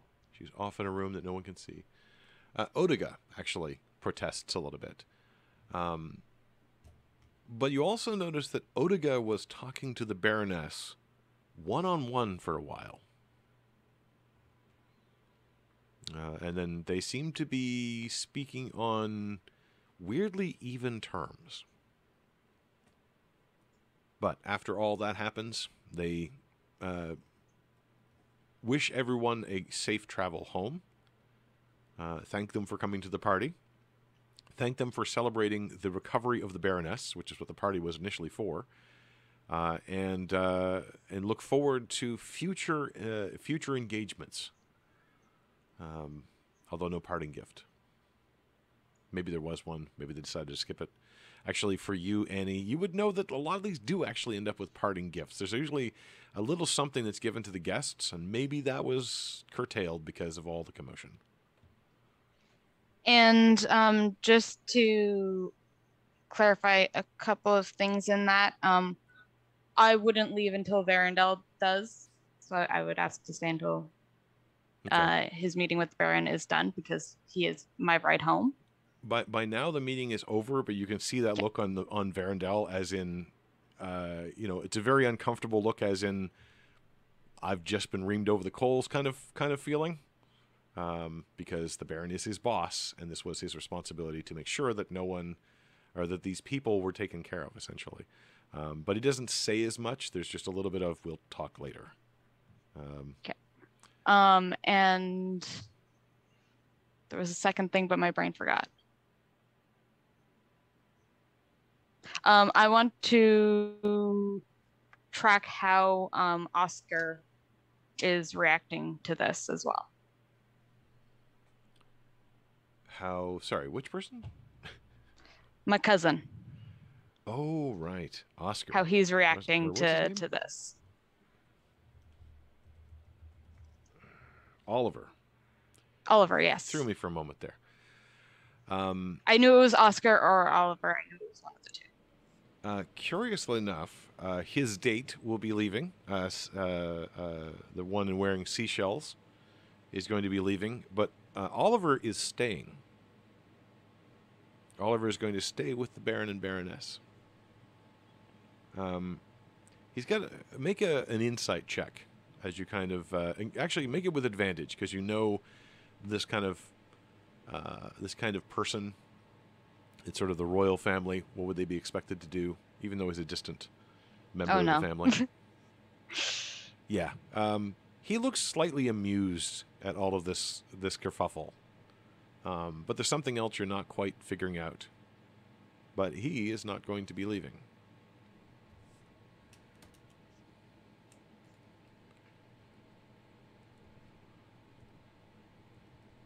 Okay.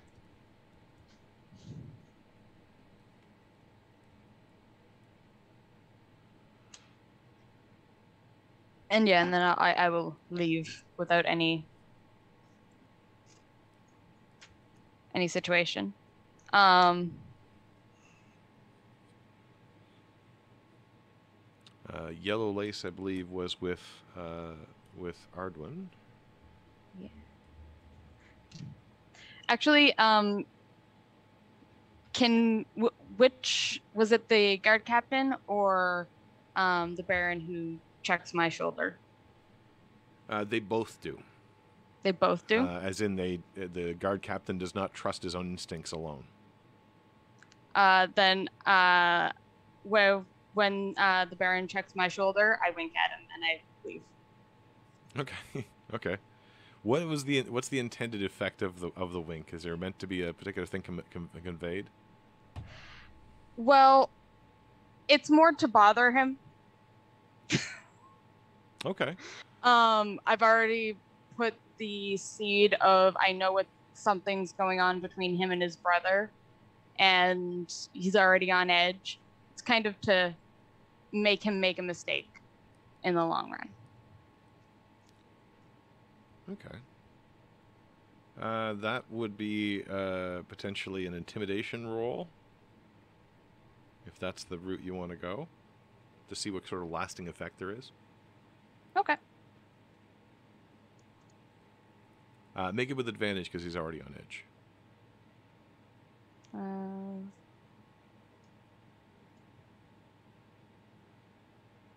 Okay.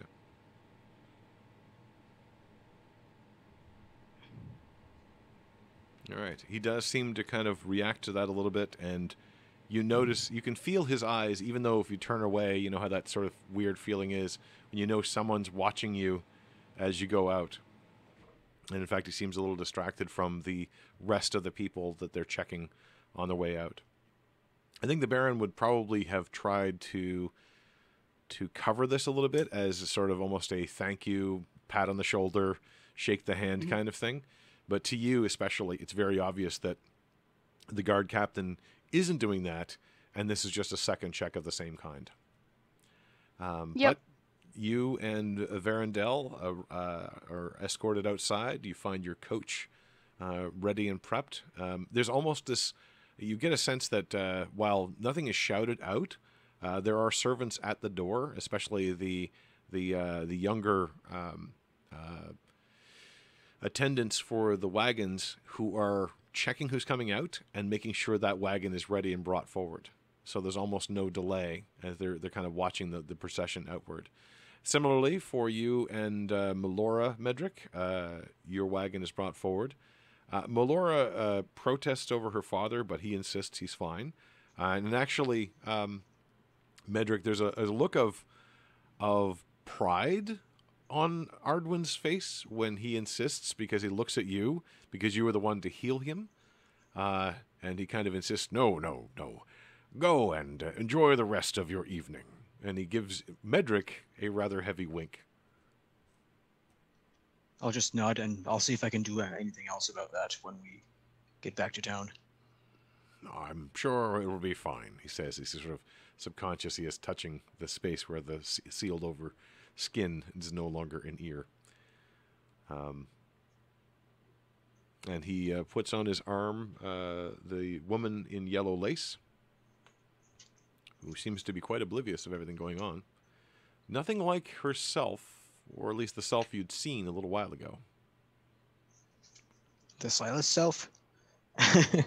Uh, no, Yellow Lace uh, was the one that seemed to be directing the show in the other world.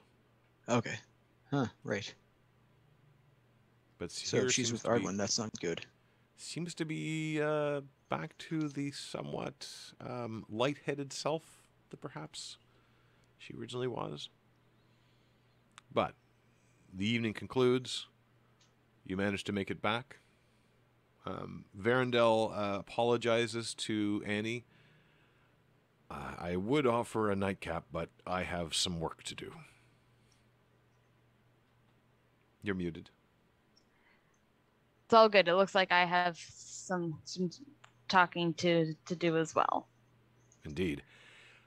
We'll be talking soon. And he doesn't phrase it as a question. He phrases it at a certain a certain moment that will come in the future. Um, I, I like nod. um, when you arrive at the temple, Medric, with Melora in the cart, um, she looks at you uncertainly. You can make an insight roll if you like. I certainly will. As soon as I can pull up my roll 20. Here we go.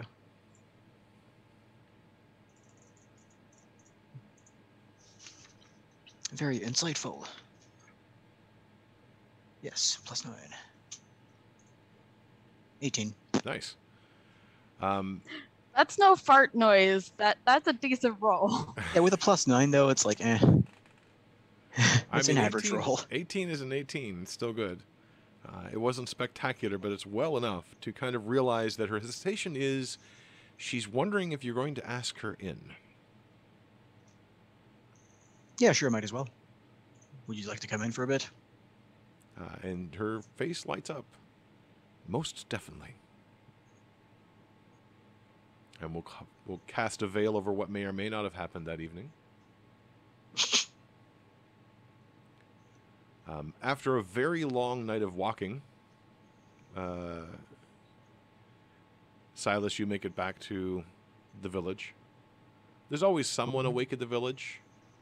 Uh, it's not exactly an official watch, but there's always somebody who's getting up super, super early in the morning, and others who are working until the very, very last light and then beyond. Probably about the Yep. same time you make it back is the same time that Odiga and Athanos do. You can hear their wagon coming in towards the town. Um, Annie, you're blinking a lot. I don't know if that means your camera is is dying or what, but sorry, this is just distracting me. Um, I'm not noticing anything on my end. It's yeah, it's not the whole video. It's like down where your name is. There's like a red bar that'll flicker in and out occasionally. yeah, Okay. um, it, it might be just a loose connection, or it might be, hopefully, not too too uh, too problematic in the future. I, I was pulling out my like charging cable for my phone, so I might have hit something. Okay. Is it is it good now? Seems to be now. Yeah, I it haven't wasn't seen it happen. but uh, okay. Um, you hear Odiga talking excitedly to Athenos, but not, but Athenos not really responding all that much. Um, and you hear Odiga kind of, I think this is going to work out very, very well. This was exactly the sort of connection I needed. I'm excited about this Athenos. And Athenos is just, mm-hmm. Silas will walk out of the woods. Say, "My apologies for not being there to drive you back." Uh, there's a little bit of start, and uh, Athenos, who has the reins, uh, is just sort of looking you up and down, trying to figure out where you've been, but not really caring all that much. He looks very, very tired. He looks like he has spent 14 hours at this party. This is not his place. Whereas Odiga Mhm. seems energized. That's all right. I'm sure we could make out make do without you. Uh, he'll uh, he'll scoot uh, uh, Athenos over and says, "Here, at least I can do is take you the rest of the way." Uh, and actually, Odiga, Odiga uh, uh, resists. Oh, no, no, no. That's quite fine. We're almost home. I'm sure you could use the walk. Sure. He'll keep walking beside them. Okay. Athanos just sort of shrugs and keeps the reins. Um, you says, the- uh, "You meant uh, what connection?" Well, that party, of course, was all the people I needed to know. All the people Hmm. of power in this town, and those who can help me on what I need to do. What What do you we need, need to to do? do. What we need to do to further our mission to to bring home the mother. Good. It's so refreshing to be able to make those kind of connections and to make some progress. Yes. Yes, it is. I may have found us someone who can give us quite a bit of help in that realm. Hopefully, we shall have uh, the mother back by the end of the year. Oh, I'm back. sure we will. Had mother here. Yeah. Sorry. I'm sure we will. And I'm sure whatever connection you managed to make and whatever it was you were doing, I'm sure that will be helpful. It's a very condescending tone. As in, I'm sure whatever thing you think you did was probably not that important, but Mm-hmm. it's nice for you to think that. That's fine. Um, I wish them a good night, and uh, I walk home to uh, my place to check on uh, my parents and on Nikki, and then go to sleep because it has been a long, long time. As you come home and open up the door, and a little bit of moonlight crosses across the room, just for an instant, it is almost as though someone is sitting in the chair in the middle of the kitchen at the table. A familiar shape, a shadow, maybe, but it is almost as though Molly is standing right there. And then the moment passes and the shadow vanishes and the room is empty once more.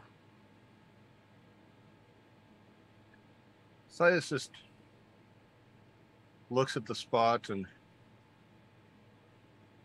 soon. Soon, Molly. Then he goes to check on everyone. Everybody seems to be fine. Nikki is sleeping quite quietly, curled up in what should not be a, a really comfortable position that only children can really manage, but doesn't seem to be bothered too much. That's good. I'll just lay down next to him and go to sleep. And indeed, everyone has a restful night. The first long rest in about, uh, what, five months for this campaign? uh, In a while. Been a It's long been a little time, while. yes.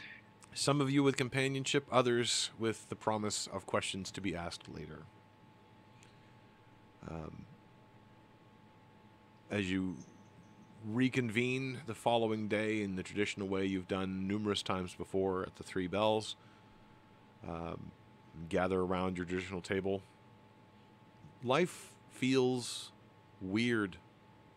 After all that you went through at that party, after the strange extra dimensional feeling, after the the discoveries and the conflicts and the transformations that only a few of you, you remember, the normal world feels a little bit abnormal.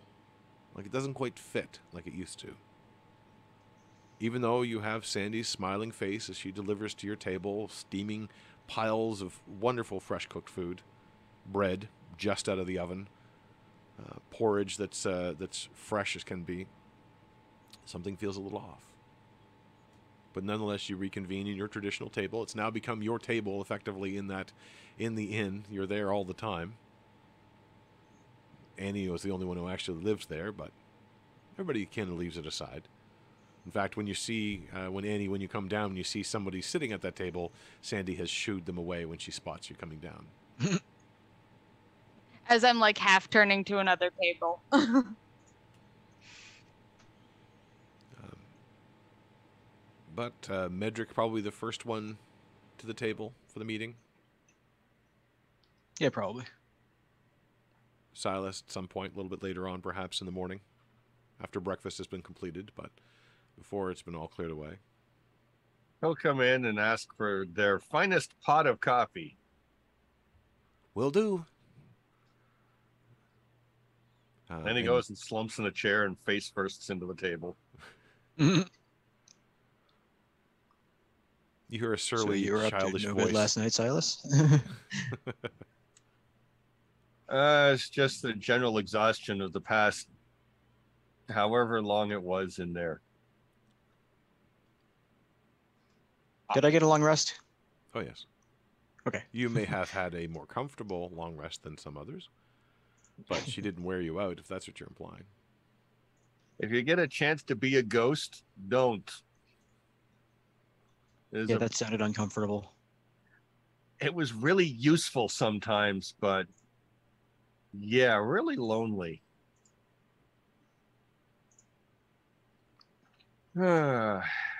So uh, I take it you grabbed the second phase. yeah. Um actually he would um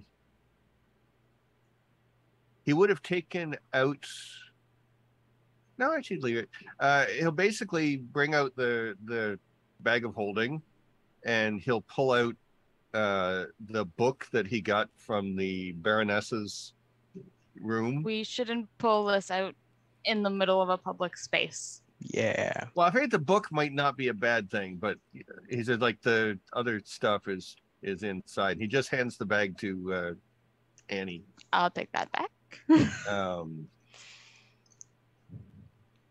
It is So, relatively yeah, quiet. I don't and know if those vases are gonna put a target on us. I don't know how they interact with, you know who. Uh, I wonder if uh, what was her name? Regalista. Is she still in town?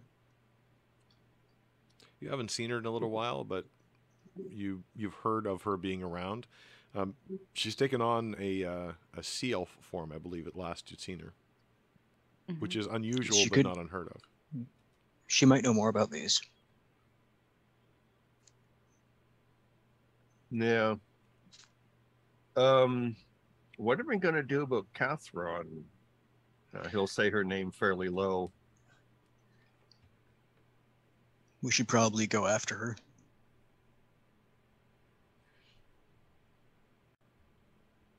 Yep. Does anyone have any idea how to get to her?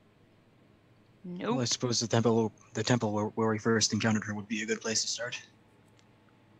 Maybe there's some info there, yeah. Um I mean, I just learned an ability to teleport between spots, but I can't go where she is with this.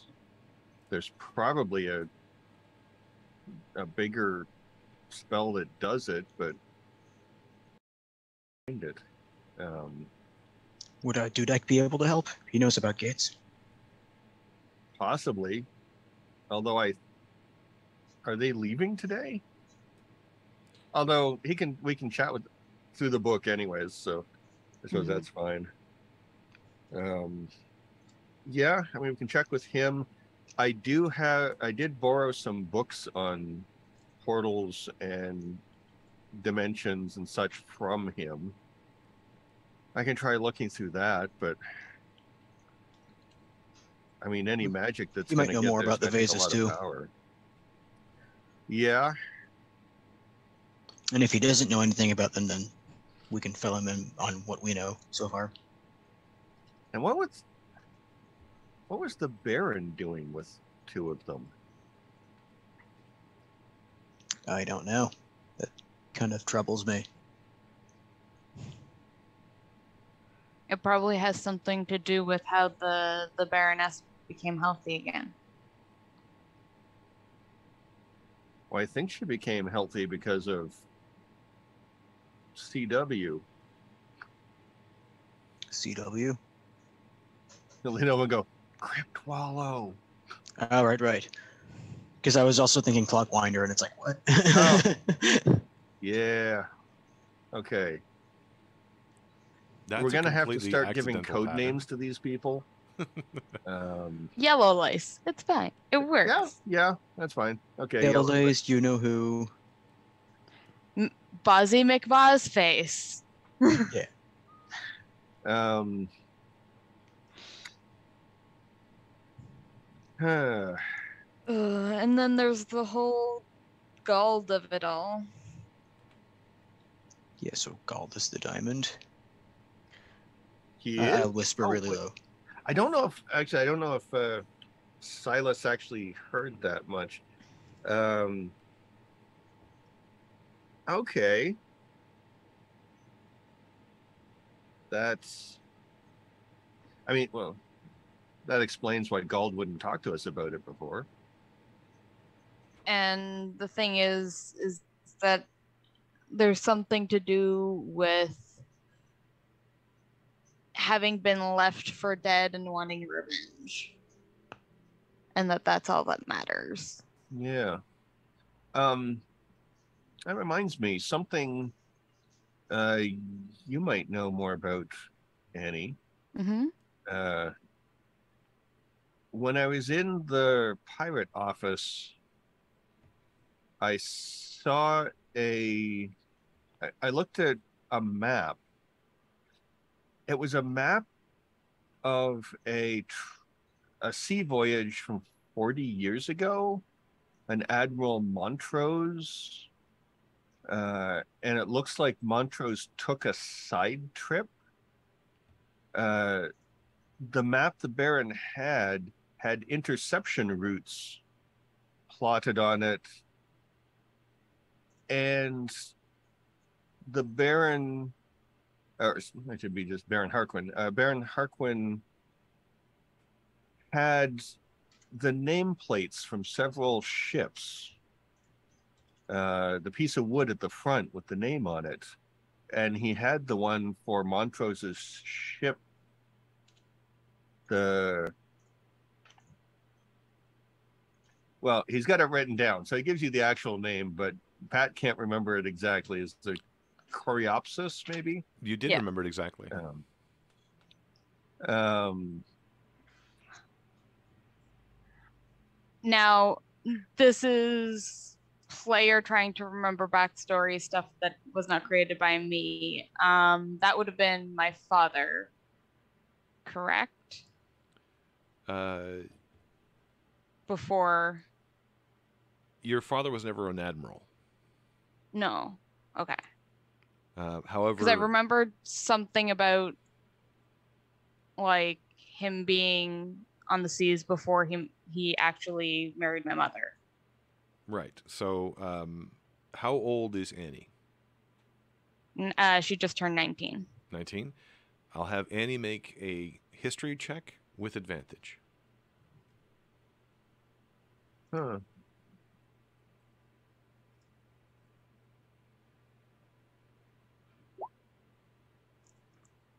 Okay. that's, That's 20. weird. That's a that's a dirty 20. Okay. Oh, okay. It's showing up as a 10 on on my other screen, but it was like a 15 plus 5. So, yeah Yeah, 10 well is on, the lower on roll. here for me it's showing out and the 20 oh yeah, because I Yeah. rolled with advantage. Yeah. But for some reason, D&D Beyond was giving me only the Well- results for one. yeah well like for like for mine there's no graying out That's because you have to roll it set up to roll twice all the time. I specifically Mm-hmm. put advantage. Yeah. Okay I Um, see that must be doing because I saw it, it was doing it with Mark too, but it Yeah. wasn't doing it for me. Yeah, I always Cool. roll with advantage because it's easier just to do that. Um, or roll two dice, I should say, not with advantage. I do a roll with all, all advantage. That's how I do so well. No. Um, so, uh, Annie, um, as you're kind of thinking back on this, uh, and as the coreopsis has mentioned, um, you're starting to remember some of the lessons you got when you were younger. Um, lessons about the family tree and all of these sorts of things that were going on. Uh, and a couple of things come to mind. First of all, um, your father was never an admiral. His brother, Swainder, was an admiral. In fact, his older brother, who was in line to become king, was an admiral. Indeed, on board the Cor- Coreopsis. The Coreopsis um, has a symbol of a yellow flower with five petals, which is actually the the name of the flowers, the Coreopsis. It was a beautiful ship, according to, to legend. Uh, lost at sea in a tragic sailing accident, was how it was recorded in the histories. Um, that was long before you were born. 20 years almost, or more than 20 years before you were born. Um, the other thing in there is is the description of the official chart, which Silas did describe had the cartographer's name. Um, those are not to be outside of the Alarian Navy. Um, they're very proud of the work that they do, and while on occasion they might loan a chart to a friendly navy, um, there's no reason the Baron should ever have had that chart. Especially because that was a trip chart, and those are supposed to be secret. They would have charted it out because they would have wanted to know from the source if they had to go looking where the uh, where the ship ended up, making sure they knew how long it was going to take, that sort of thing. Uh, it was a trip chart probably produced by the cartographer themselves um, as part of the normal voyage. What the side mission is, you don't know.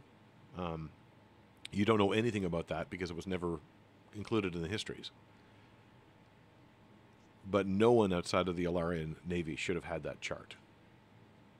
And somebody not only had that chart, but was able to plot an intercept course, um, which is why they're usually kept secret. And from what the description of this was, too, it's an unusual thing for the lead ship to go off on its own. It would have normally stayed with the fleet. For whatever reason, it was gone on its own. That made it much more vulnerable, which means it was even more a target.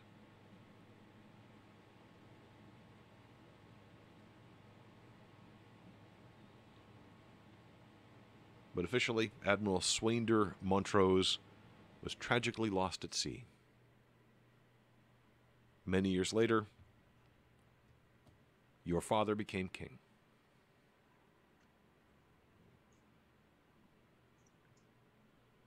Since you rolled a 20, do you have a question?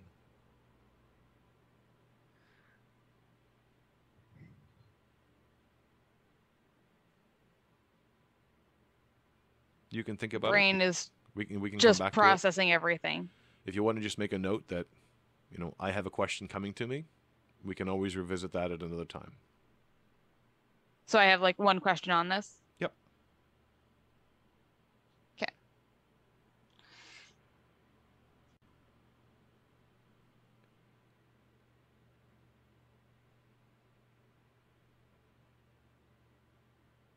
Did you want to continue with your description, Silas?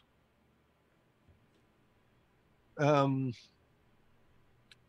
well, he said basically he just he presents that to her and asks, "Was that was Admiral Montrose a relative of yours, like grandfather?"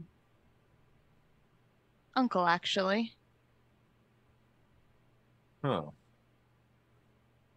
My father's older brother. Did he survive the taking of the Coreopsis? No. Those charts shouldn't have been in anyone's hands. And just The be clear, charts that you describe, there should be one ever made, and it should not leave the hands of one person. There are two. Pe- there are three people involved in those charts: the person who will be following the chart, the person who makes the chart, and the person who keeps the chart. And it should not leave those hands. And there is only one made, for security reasons, to avoid what happened. and to be clear, um, it was not known what happened. They were lost at sea. It was not. It was not ever declared Uh, to be yeah. taken or or Yeah, anything like that. nothing Uh, was ever recovered. Do you know why he was taking a side trip? It that would be unusual because if it was the lead ship in, in a fleet, it would be unusual for the lead to go on off on its own.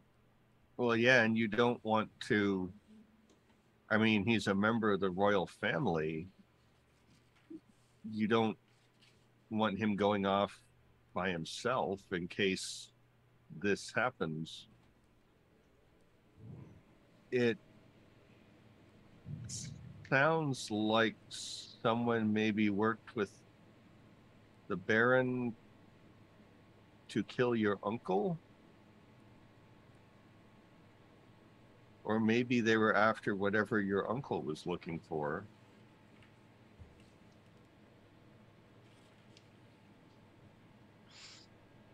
I have my question. Okay. Does the information that we just figured out have anything to do with the papers that Gaetano gave me? Uh, remind me of the papers that Gaetano gave you. It was- Um, It was his studies and it was his. It, it was notes that he said would be useful for me. Let me just give give me a moment. I will find it. I think it Uh. was mentioned that it was there like there were studies from his travels. I mean, maybe he was looking something. Mm. Hmm. I just need to open my thing. Uh,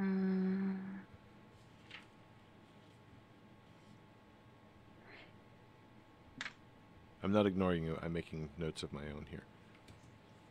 all I have in my notes was Gaetano's notes. Not consumed during use. It was during the downtime that I fell off Cape Raven.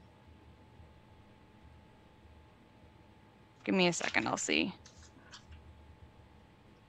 Yeah, I think you didn't get back to it. Um, surprises.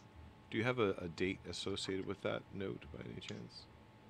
No, I'm looking for it. Okay. Uh, the answer is most likely yes. We'll just have to confirm exactly what point. It's the danger for me seeding things that probably were three years ago, uh, or at least two years ago. I'll, I'll keep looking. Okay. And if you do find a specific thing in there, basically at this point, I'll say that you think of Gaetano's notes and you're starting to run through them in your head, but you're going to have to go back and actually study them to figure out. Now that you have a new sort of angle to look for, um, this question of what the admiral was looking for and what Gaetano was looking for, and if they happen to be the same thing or if there's something else. So, Okay. um, and I will make some notes to make some notes. It's all good. I will, um, if you guys continue, I will find the notes on the notes. Okay. Um, so s- um, Annie looks lost in thought at the questions, Silas, um, but you still have more to report. I think both sides still have a bit more to report potentially. And actually, at this particular Um, point, um, through the front door, in a, a, a, a, a pretty stunning, if a little conservative outfit, um, looking refreshed, renewed, and uh, maybe bold, depending on what happened. And that's entirely up to to Nax. Uh, Melora comes to the door, uh, looks around, satisfied to find Medric and the rest of you, and strides over to your table and sits down. So, I'm on mute. Okay. Melora, I'll, I'll greet her and just. I, I'm just going to assume she's going to make her way over. she doesn't wait for the greeting, but she appreciates it and acknowledges it. Um, do you make a motion of affection, or are you standoffish this morning? I'm not standoffish. Okay. Um, she'll lean I'll just say, in like, I then. hope you rested well. She'll lean in then and kind of give a quick uh, peck on the cheek. of affection and sits down. So, one heck of a party, huh? Yeah, uh, I, I can't believe things didn't go worse. It seems like danger and drama follows us. Indeed, it's rather exciting, if somewhat painful. My father sends his regards. He's already working on a kind of hat to wear with a little bit of a of a handkerchief. I think he's going to be able to pull this off. He certainly knows that this story is going to get around and it's going to increase his reputation, so I guess there's that. So, what did his ear just disappear? Well, and she looks squarely at all three of you, kind of each in turn. I was hoping you could explain that. My memories of the evening are muddled. For example, I distinctly remember actually being a tree.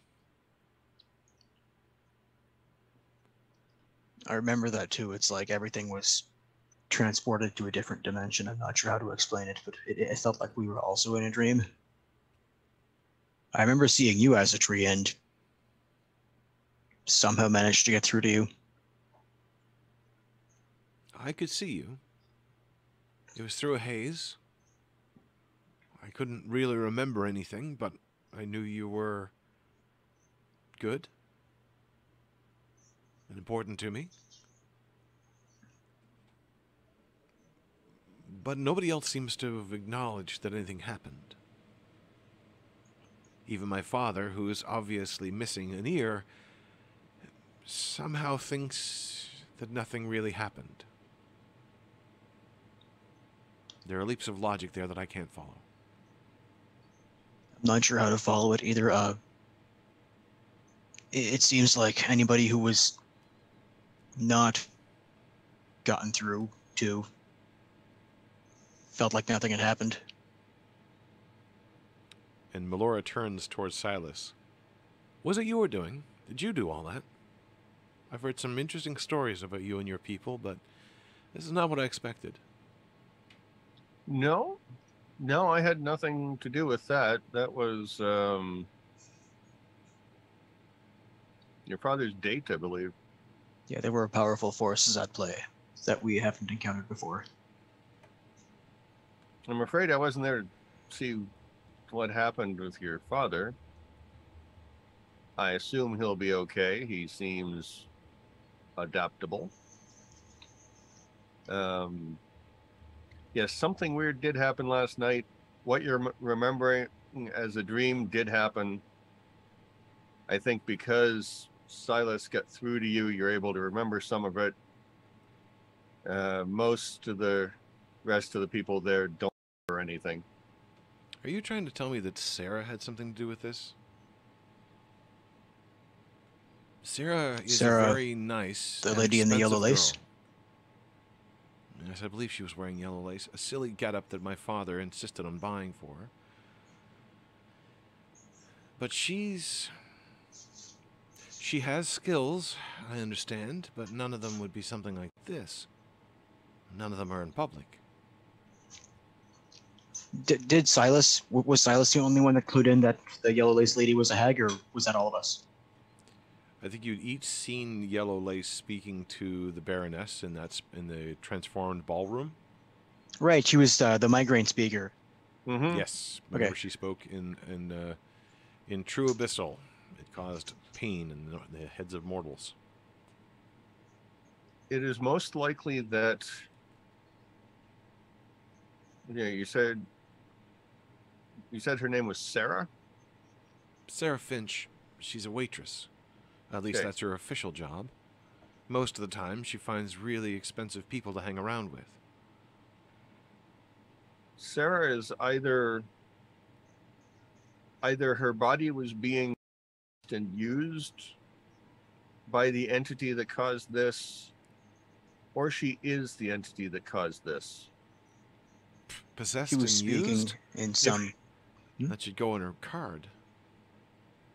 if she is the entity that caused this she is very powerful and very dangerous and you should not mess with her She went home with my father last night. And she kind of Well, looks yeah, I very mean- concerned. In uh, the dream land, whenever she spoke, it caused a splitting headache. I had to leave, otherwise I was going to die. I mean, she can be really, really dumb, and I would describe it as a splitting headache every time I've heard her try to say something intelligent. It's because the being that was there is linked to the abyss in some way. Do you She mean spoke the true actual abyss? abyssal. I only know a dialect that mortals can speak. Are you talking about the actual abyss and not some slander that I would probably want to say? I am talking about the void beyond that which no mortal can survive in. I mean, I could still think of some rather colorful phrases using that same meaning, but I, I think you're talking Silas will about. Silas will grab her hand and squeeze it ungently and say, You must not mess around with her. She could destroy you, your father, this town. she is okay. a being of power and not one of the good ones. If I'm she's not- putting on an act, take the act at face value. Okay, I'm not going to mess around with her, but now you're starting to make me really worried. Who is she then if she's not that waitress? Did I don't- give you a name. I'll ask Silas. that is something that it is best that you do not know. If that name is on your mind, she may notice, and you don't want her to notice you. Again, this Sarah may be just a vessel she was using. I don't know. But she is far stronger than we are, and far subtler. She's far stronger for now. And And- by the way, I, as I was praying to Ignis this morning, I realized that there is a way I can restore your father's ear. But I, my, my connection to Ignis is not strong enough yet. Eventually, though. Well, that would be appreciated. Although he's going to milk it in the meantime for everything it's worth. Still, what you said about Sarah is rather disturbing. I, I tell can't- you this only in an effort to convince you not to get involved. How can I not get involved? If she's involved with my father, then I'm already involved. involved. Yeah, I'm assuming he means not involved directly. If there's anything you observe that she's doing or anything suspicious, let us know. If there's anything suspicious, I'm not going to stand by and let it happen. Not let it happen, but Look, uh, my father can be an arrogant prick. He's the only relative I have left. He's smart, he's ruthless, and sometimes a little bit uh, susceptible, let's say. But if he's in Yep. danger, I'm not going to stand by and let that blonde bitch do something to him. that's understandable. And understandable. what can you do? But if you challenge her yourself, I mean, I wouldn't challenge her myself. Well, then, if you challenge her yourself, she's going to kill you. well, then I'm going to take my father away from this. That could be That's a wise idea, but it will idea. require a lot of tact to do properly. and I'll look at Silas. it's like you're you're the tactful one here, and possibly you, Annie. I don't think there's much that can convince your father to leave his base of power. She is possibly attempting to manipulate him. If she does, let us know. If you try to confront her, then you will be gone and he will have nobody to defend him. But th- there must be some sort of- test or, or sign or something like that. Not that I know of. You, you mentioned she was hanging around with a lot of rich and powerful people. Well, yeah, she likes to be the arm candy. Gets her to all the greatest parties. Gets her paid. Do you have a list of these people by any chance? I don't keep a list of them. I don't even want to think about them. After all, she's with my father. And if I start thinking about the fact that she's also been with all those other people, then it's going to be a lot more uncomfortable for me to be around my father. But I- if we knew at least some of the people she hangs around with, maybe we could, I don't know, figure out some kind of pattern, what she's trying to accomplish. I guess I could ask around. Whatever you do, try to be subtle. Yes, as subtle as possible.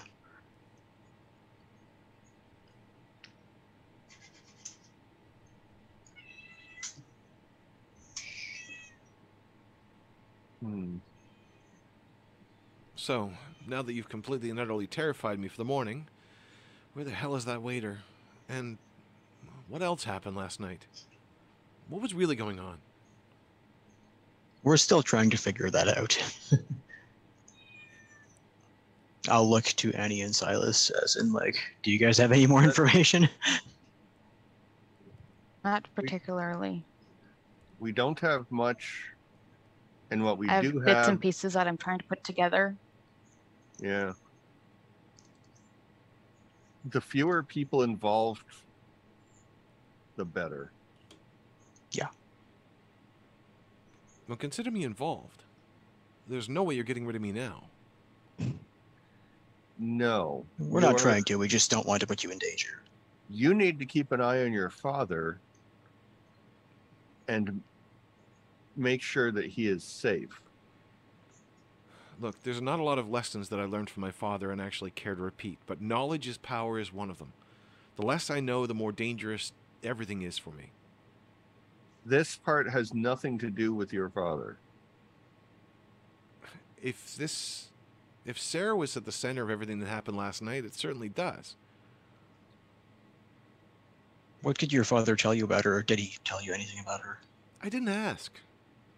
He was as far as I was concerned, she was nothing more than another another jewel he kept on his on his uh, fingers. I don't know much about her. She she works at a couple of different places. Never seems to be working for very long, and has all kinds of wealthy friends. I guess you might say. Her and my father have been at a few different places here and there. Seems to be a little bit more. Uh, I don't even want to think about it, but it seems to be a little more serious, a little more steady, I guess. Seemed to be happy, good. so I didn't ask too much about it.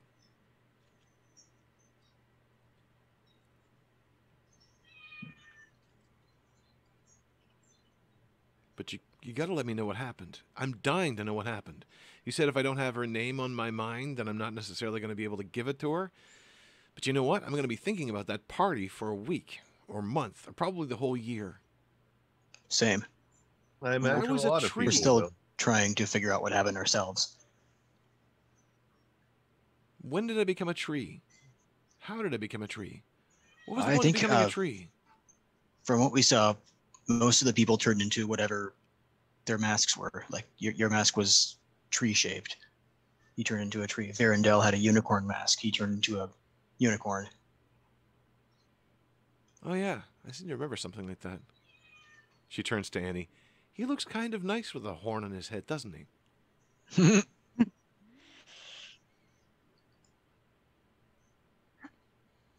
I don't know what happened.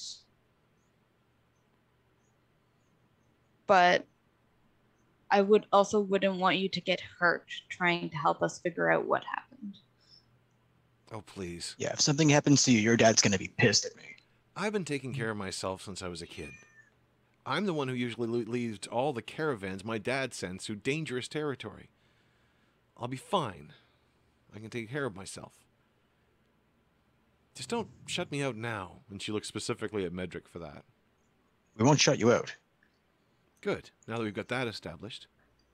And at that point, the front door opens. And standing in the front door, looking like he hasn't slept all that much, uh, still uh, not still in the same clothing he was wearing last night, but in a sort of hastily thrown on a captain's uniform, uh, is Varendell, who walks kind of straight through the Sorry, I was shushing my cat. And uh, and uh, and uh, Annie, while while everybody else has been talking, she has actually taken out a notebook and is like noting things down, and like she she has like a red string type diagram going on, trying to make sense because this is information that we did not have. Conspiracy theory map.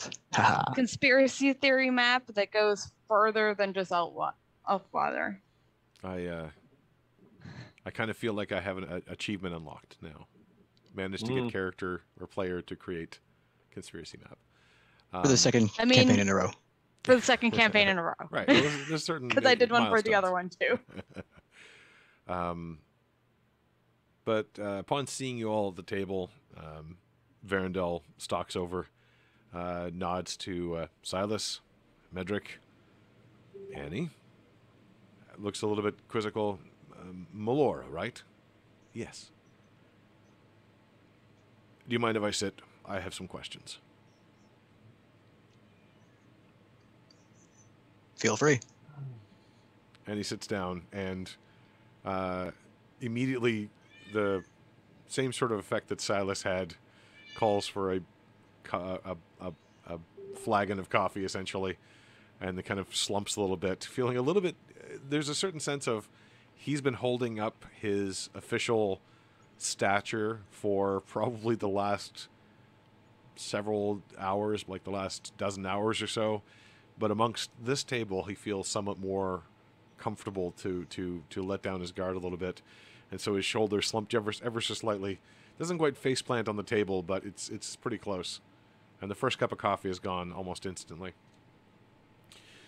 So, Uh, heck of a party, huh? Silas, uh, as as he's drinking his coffee, Silas is going to turn to uh, Melora and say in her head, "You probably should leave. I don't think bringing the pol- uh, bringing the authorities and you together is the best idea."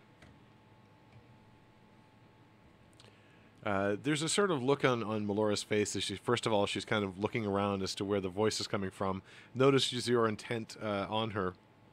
And when you finish, her face just sort of wrinkles up in that uh, that eyebrow raised, uh, fur- uh, furrowed brow of of determination. There's no verbal answer, but the answer is, "Uh huh, I'm not leaving this table."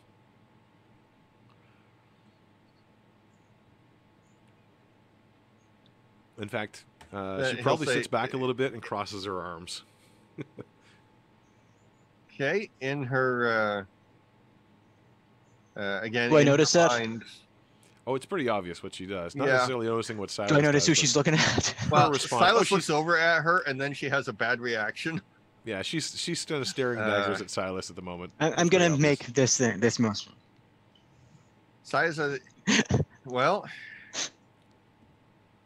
if you stay here, that may cause Varendell to look into your family more, and that may not be good for your father. But do what you will, and then he'll just turn back to his meal. There's a momentary hesitation, um, and then she looks over at Varendell with a little bit of trepidation and sighs. Captain, Melora, you know my father, right? And Varendell kind of nods. Yes, I do. Good. My schedule's clear for the day. And she sits she sits there, uh, kind of determined. Varendell looks confused. He has no idea what just happened. Uh, but that may also be he's only getting through that first cup of coffee. So, that party.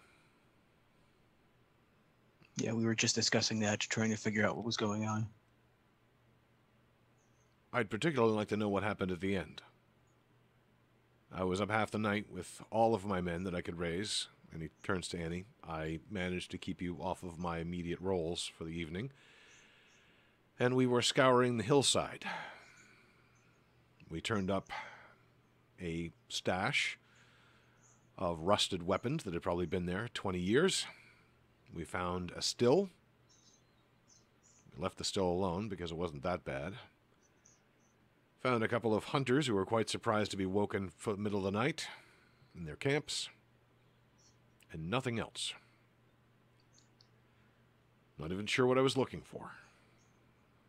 And at that, he kind of looks around the looks around the room, knowing that Annie and Medric were in the in the house at the time. Kind of looks a little bit at Silas suspiciously, but doesn't linger there. Silas is calmly eating his meal and pretending not to be involved.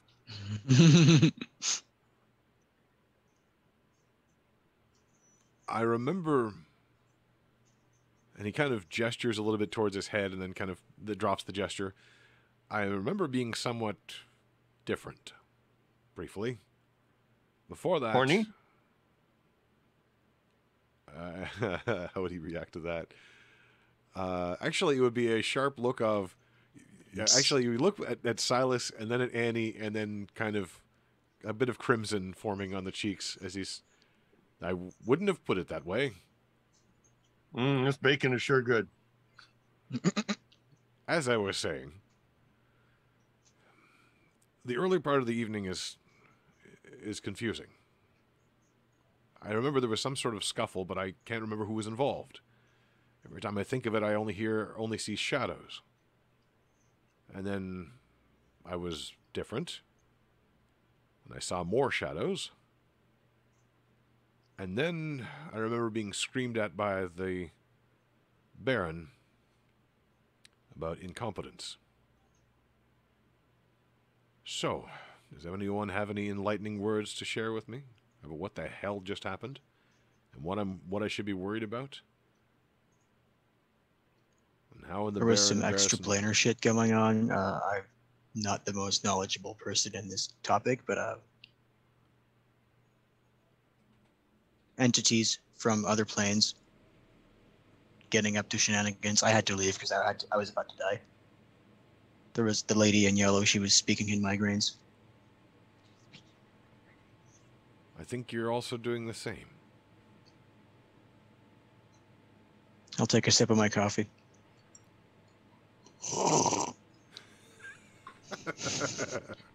He might be Conspicuous speaking coffee. in riddles, but he means literally. She spoke, and it caused pain. Who? A lot of Who pain. was this person that was spoke? Apparently, it was Sarah. Sarah who? Sarah. other, other uh, Sarah from the other plane. Uh, and as Silas was mentioning earlier, it might not be her. It might it might have been some entity possessing her. We there's a lot of things we don't know. In fact, there's very few things we do know. And Melora finishes Sarah Finch. And there's a puzzled expression that comes across uh, uh, uh, Varendell's face. Uh, Annie, please make an insight check. Oh.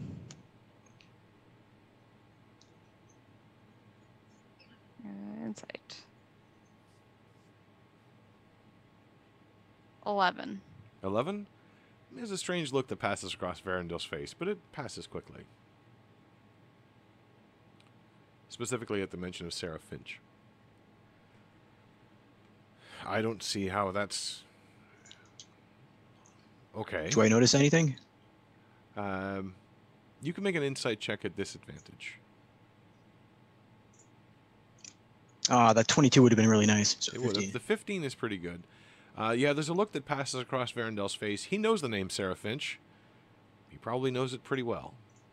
Uh oh.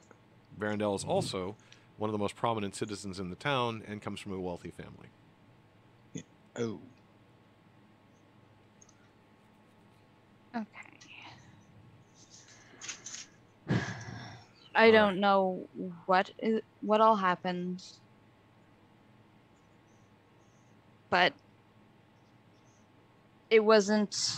There was multiple things that kind of happened at once. Oh yeah, we also discovered that the diamond is actually the Baron's uh, brother. What? The Baron. I didn't Yep. even know the Baron had a brother. Yep. Had, I guess. And is trying to kill the Baron because the Baron was a pirate who left him for dead Okay. and who might have also had something to do with the sinking of uh, the Coreopsis, which now I'm trying to figure out how that might have had anything to do with it. What's the Coreopsis? I, Th- th- this is a that that would have been something that Annie let let slip out, and she's like, I don't even know how it's involved. I just know that it's a ship that disappeared with important people on it 40 years ago.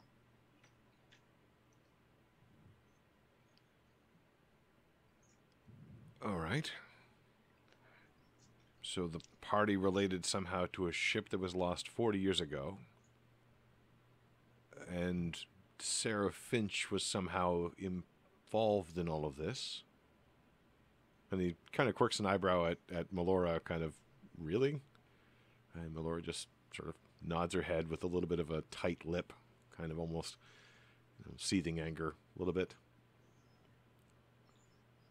Uh, Sarah Finch just seems to be involved. Uh, we don't know. Uh, like it was my first time seeing her at the party, but she seems to be hanging out with a lot of rich and or powerful people, and she she seems to play the act of being just uh, airhead arm candy. But I, I think she's up to some more uh, sinister things. She's I have no way very, to prove very this. dangerous, says Melora, looking directly at Silas.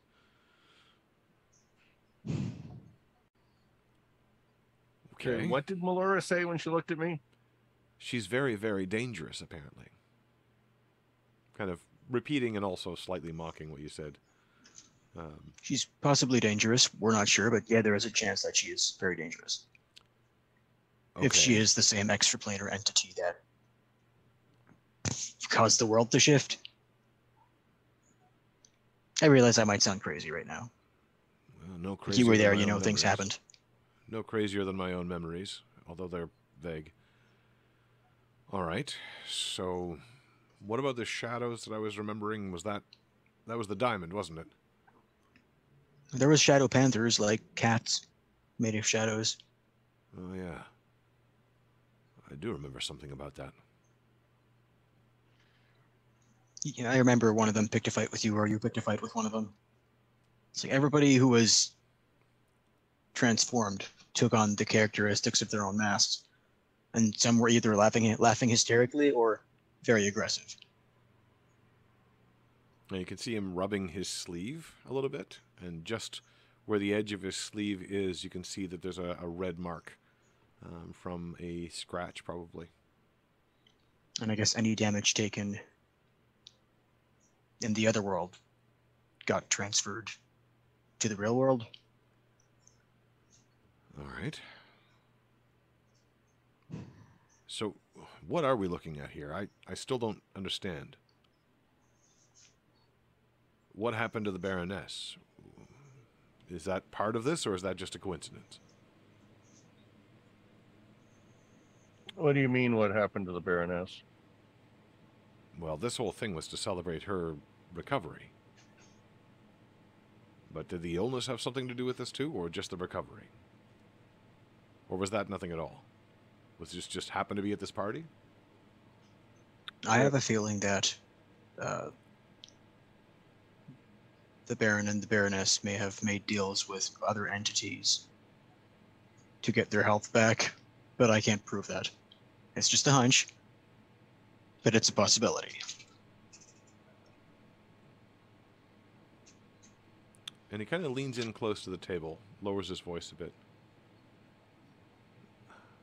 I suppose the question I don't want to ask is Are the Baron and Baroness dangerous for Aelthwater, for this region? I don't know, honestly.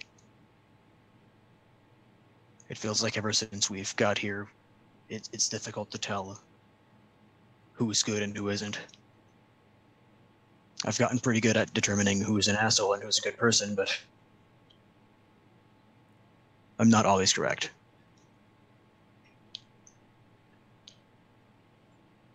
All right. My answer would be I don't know. I feel like there's a part of this that is a family situation in between the Baron and his brother. There is, and everything that has come from that, and all of the harm that has come from that to everyone else, which in itself is not good for, for Outwater. Yeah, the diamond was constantly talking about his vengeance. and that then there's the aspect of it that is the baroness's illness which they seem to have made deals with dangerous beings um, without possibly fully knowing the ramifications of those choices. And then there's those other beings that are involved with it that also mentioned what what was the dragon's name? But- Uh,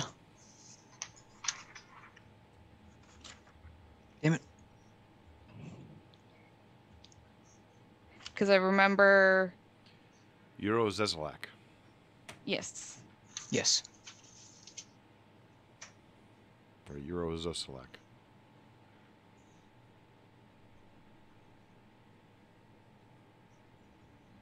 that also some somehow bring a very dangerous ancient dragon into the picture Yeah, so that could be very bad for Elfwater. Wait, there's a dragon involved now? look i know that it sounds crazy It's a lot to take in, you have to admit. but I have not lied to you about anything that has happened.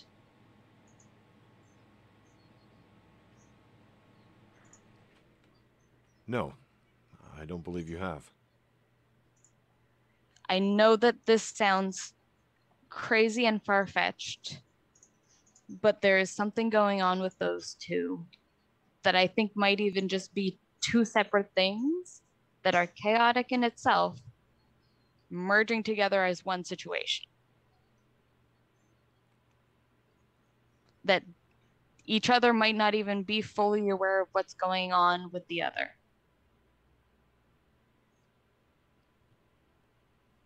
And Melora's kind of looking back and forth, trying to figure out if the dragon bit was a joke.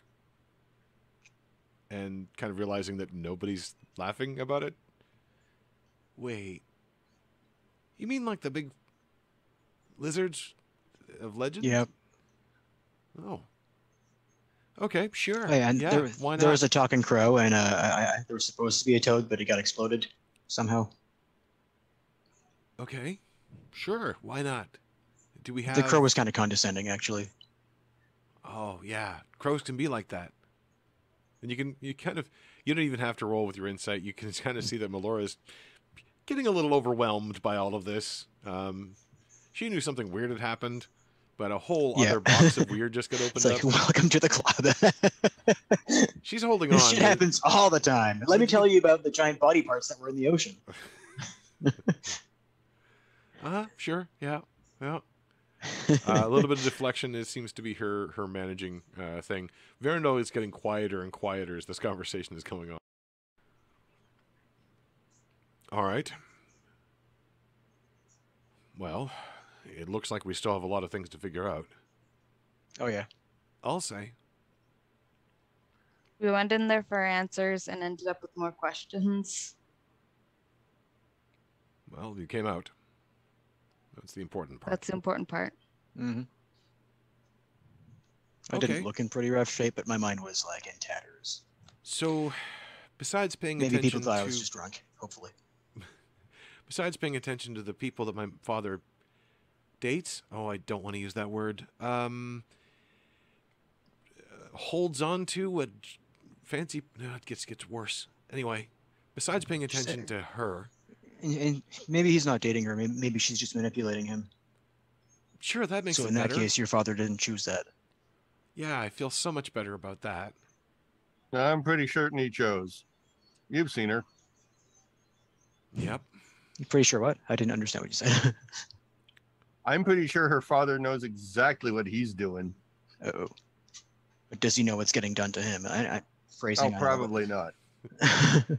But I'm pretty Psychologically, Sure does he know what's getting done to him? I'm pretty sure he's a willing participant in some of what's going on. Sarah does have her um, wiles, ways. Says Varendell, suddenly realizing that he probably shouldn't have said that. And Annie's just very much focused on like her spreadsheet of organizing the information that she has. So she doesn't hear the whole like record scratch moment. So back to the dragon. Deflect. No, really. Besides just watching in on her and making sure my father's okay, what else can I do? What else do what else do you need? How can I help? I'm not sure at this point. Can you kill a dragon? Haven't tried. Sure, let's give it a try. Do I need to kill a dragon? I don't think we need to kill a dragon. Well, they said something about killing a dragon. Yet. Yet. Yet. Okay. in which well, case, we probably burner. can't kill a dragon. We'll put that on the shelf for now then. I'll start working on my dragon killing abilities right away. But in the meantime, In every group, each member has their own things that they can do and their own part to play. You have your part to play. That is watching your father. okay. your part is not dealing with what the rest of what's going on. Um, Medric, because she's sitting closest to you and you know her a little bit more, you can see her arms tensing. Mhm. Go ahead. Is that an insight check? Uh, you can if you want.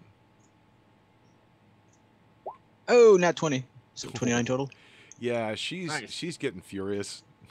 She does not like the language of now, little girl. All you have to do is stay by the side and let the adults take care of it. That's what she's hearing, Mm-hmm. and she's Yeah. just about ready to Um, launch across the table and Silas bitch says, slap "Look, Silas. I'll just mumble under my breath. Damn it, Silas.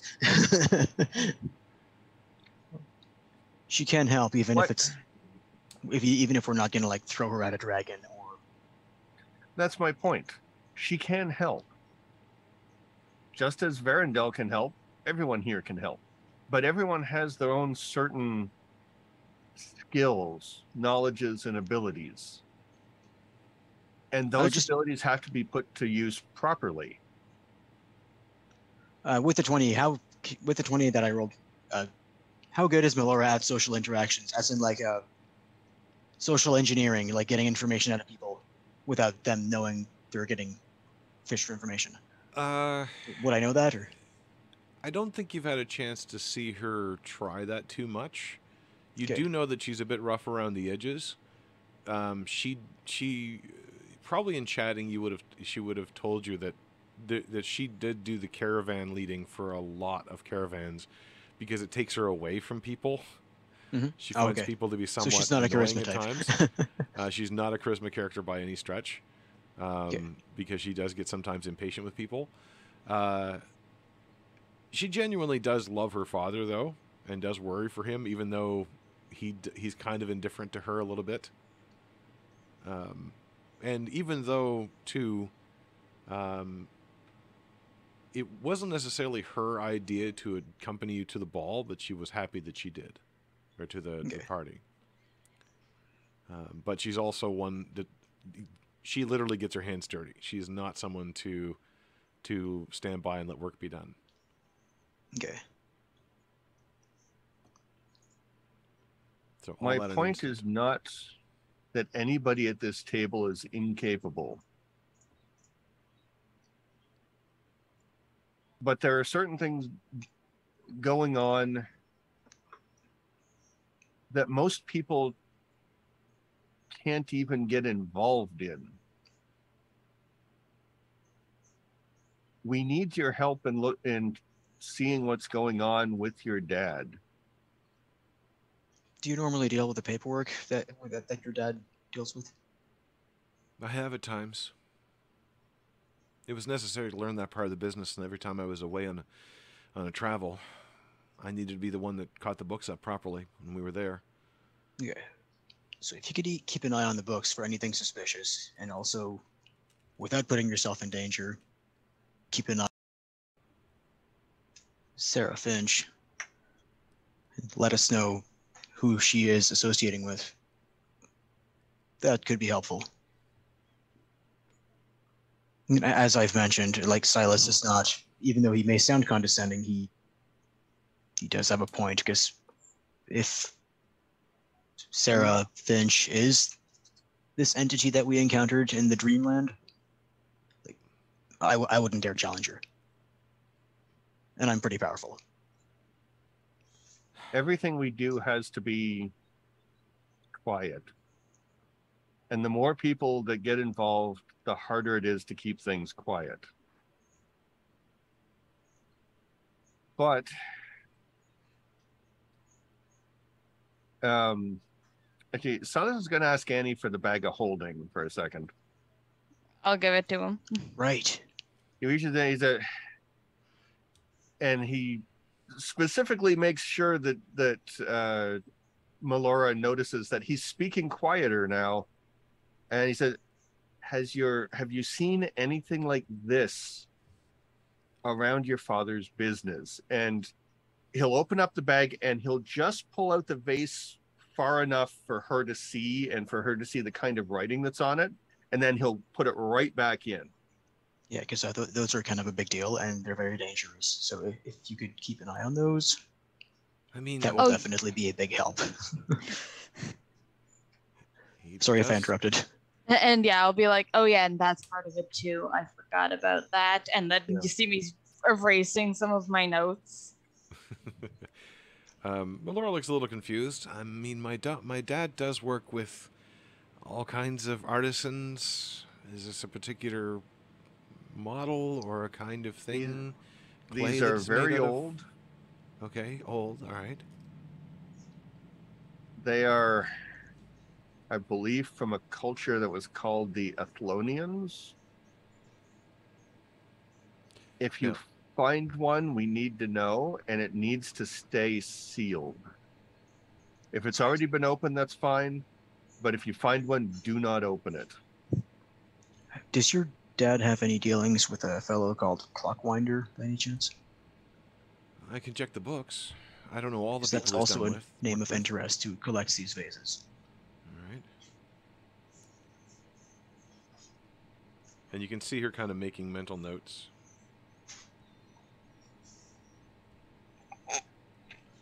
Silas looks at her and looks at Varendell and said, Do you really want to know what's going on?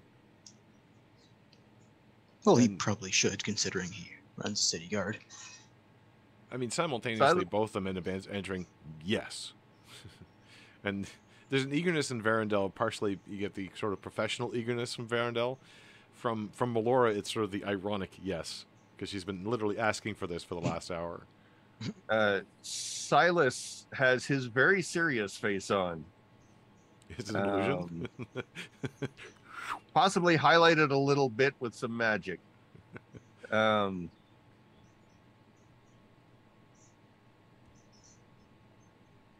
this is Silas takes up the dad voice. mm, there are things that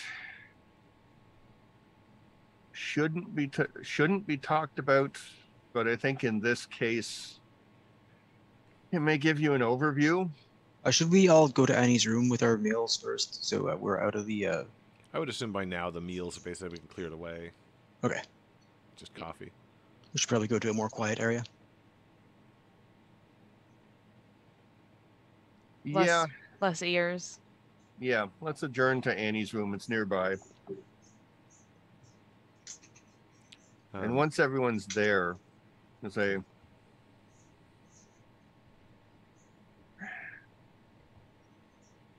this. Okay, this is not easy for me to explain, and not because I don't want to explain it. It's confusing. And this may not, in fact, be the truth, but just what I think the truth is. That is as little as we, uh, that's how little we know. At some point before now, some time ago, we don't know exactly when, I believe that a god was killed. Oh, you're going that far. Yeah, Yeah. I'm giving them the overview. I want them to know that this is something epic and there's really serious shit going on. yeah. Um, And that's why everyone is confused and has forgotten time. yes, as as entities attempt to either take advantage of this or remove any trace of the existence of this god, it has messed things up. Time is not passing the same between every island.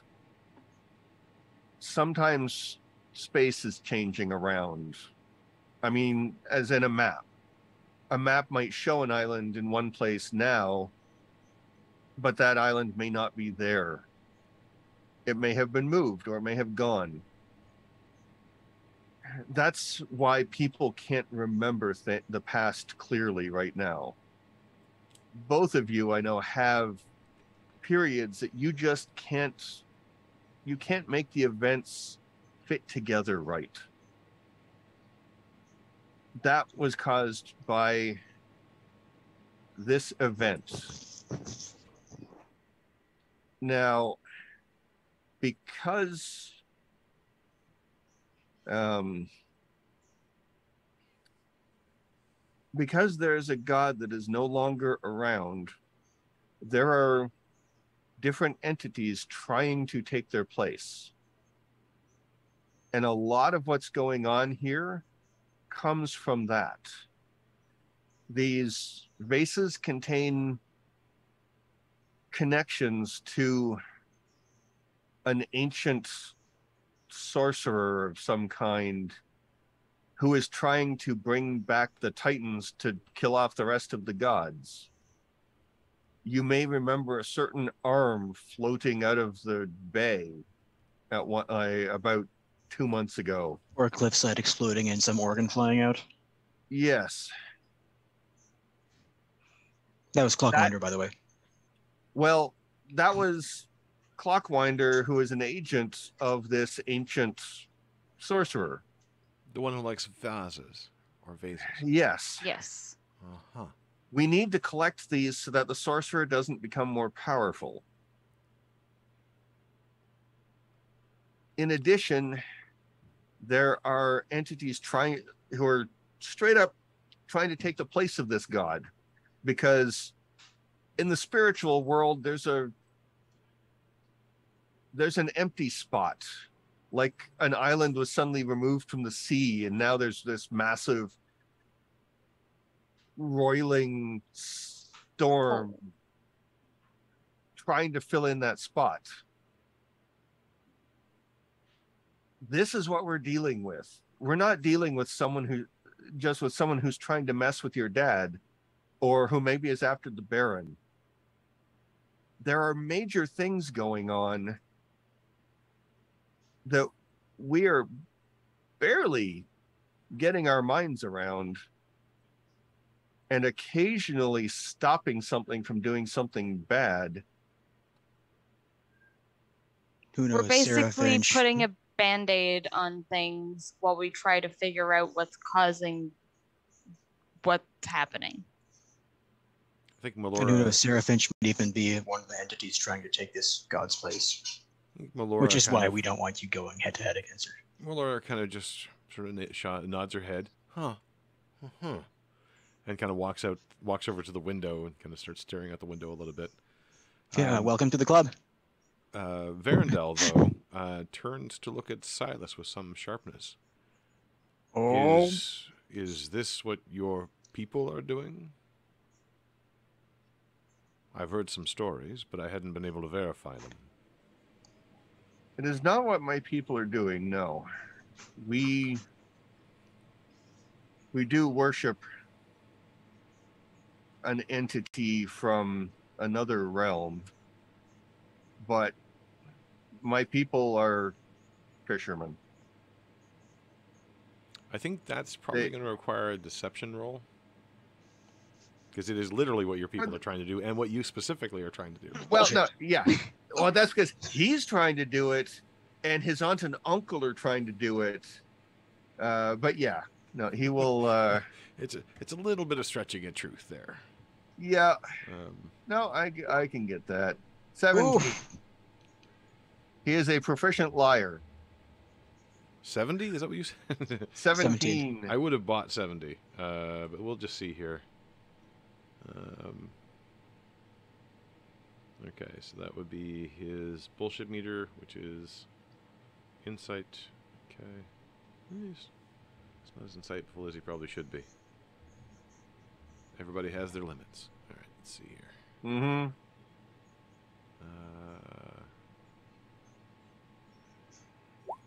Uh, Oof. yeah, Natural one. natural one. So um, Okay. he sort of nods his head and and and uh, for not- a Reeve, he's really easy to lie to. and Silas was totally not at the party last night. Wink, wink, smirk, smirk. Yeah. No, that that part's I, already I, flown. I think he rolled like miserably low as well when I was introducing myself as well. yeah. Yeah. I think I think Um, the, the the reaction is kind of a, a serious uh, nod of the head and kind of keep going. Now, while I believe that perhaps the mother would be a a good one to fill the hole so nothing else gets in, that is not something that my people are working towards. They are they are like anyone else in the bay. They're looking for a good life. They're looking to bring in lots of fish, uh, despite what you may have heard of them. As I said, I was only able to find rumors, and it's good to put some some truth behind them. Yes, yes, truth. Tasty, tasty truth. So over by the window, Melora kind of sighs a little bit. So, if I'm able to understand all this, and I'm pretty quick at picking up a lot of things, you're telling us that the world is kind of broken, and a whole lot of people want to get their pieces. Pretty And much. it's a good idea not to let them get the pieces, right? Mm-hmm. And there's a whole lot Uh, of not not necessarily a whole lot of people, but a, a number of well, a number of beings. I don't know if I would call them people. So maybe that might explain that. And she points out the window. What? Silas wants to get to the window fast, but he also doesn't want to see what's going on. Medric will stand up immediately and look So- out the window. I would imagine most of you end up uh, looking out at least part of the Yeah. window. And in the street behind the inn, um, there is a strange um, scar that seems to be hovering about four feet off the ground. It's it's diagonally hovering. Uh, it seems to be shimmering a little bit. A little wisps of of of a sort of gray silver light are bursting out from it. That every once in a while also reveal a bit of of red uh, and uh, kind of a yellowish color. And the scar, as you watch in a second or two, cracks wider. You can hear people concerned on the street pointing to it, backing away. Uh, and in an instant, the scar opens up like a almost like an eye, like an angled eye in the sky. But instead of a a, uh, a- globe of the iris inside, uh, it is this this pit of darkness, uh, out of which fly four dark beings who flitter up into the sky, and in through it steps one enormous 14 foot, uh, reddish haired, uh, ugly, uh, sort of almost animalistic creature that steps through on two smaller legs and two larger arms, uh, muddling its way through. The, the scar collapses behind them, and the screams are heard outside as you see some things come through. And I think that's where we'll start next time. Okay. As the camera goes to close, Silas says, "Well, shit." Fuck. to quote The Witcher. Well, I think that's a good place to button it for uh, for today. Um, thank you so much, guys, for for uh, for putting up with it. I know we had to kind of muddle our way through, and there's all kinds of things we've all forgotten over the three years of lore that I've dumped on you. Um, if Try end of February for the for the notes. Okay, end of Mhm. February. I will I will look up those notes and try to remember which parts I was referring to. Um, I, I have notes uh, on my uh, the the joys of being able to see when things were edited on an Excel spreadsheet. Um, I have set back back next time I try to research Gaetano's notes, it'll take a, a second week. That that modification was made on the 28th of February. Perfect. All right. Well, now those notes have, have a bit more relevance and a bit more importance. Um, note to all the GMs out there: seed your world with all kinds of things, and eventually they pick up on them, and they'll remind you of things you've forgotten about, which is great. Um, It's literally in the spreadsheet of things that I have that I like that I own that are useful. So, in, in case it's not entirely obvious, um, this is an offer of essentially two minions for the party. Uh, Melora and Varendell will both work with the party. Obviously, they have their own uh, their own needs to occasionally go on, but they will become Nice. NPCs that will be under your control for uh, for combat purposes. Uh, but otherwise, or combat or other encounter purposes. But otherwise, uh, the the personalities will come from me. Uh, and this is the part of the uh, the building of a legacy or the building of a, of a team to tackle larger problems, as you all have pointed out. These problems are pretty big. Um, that will mean that occasionally, for example, you can say, "Well, I'm not going to do it. I'm going to send Melora to do this," or Varendell should be the one to look into this sort of thing. So you can send NPCs to go and do certain subquests or to do certain uh, features. So, just as a sort of formal so next we got to get Dudak Bitterhorn and Dr. and Dr. Marigold to join our party. I mean, they're, they're, po- they are definitely involved. It's possible. Uh, both of them are NPCs at the moment. Dudek himself is scheduled to leave, so there's Oh. going to be a, an official. Yeah, but I've we've got connection through the book. Yes, yeah. and he can be kind of a, a resource at the moment. He's not he's not graduated to a party member yet. Um, but uh, Basically, we've been through shit. Yeah.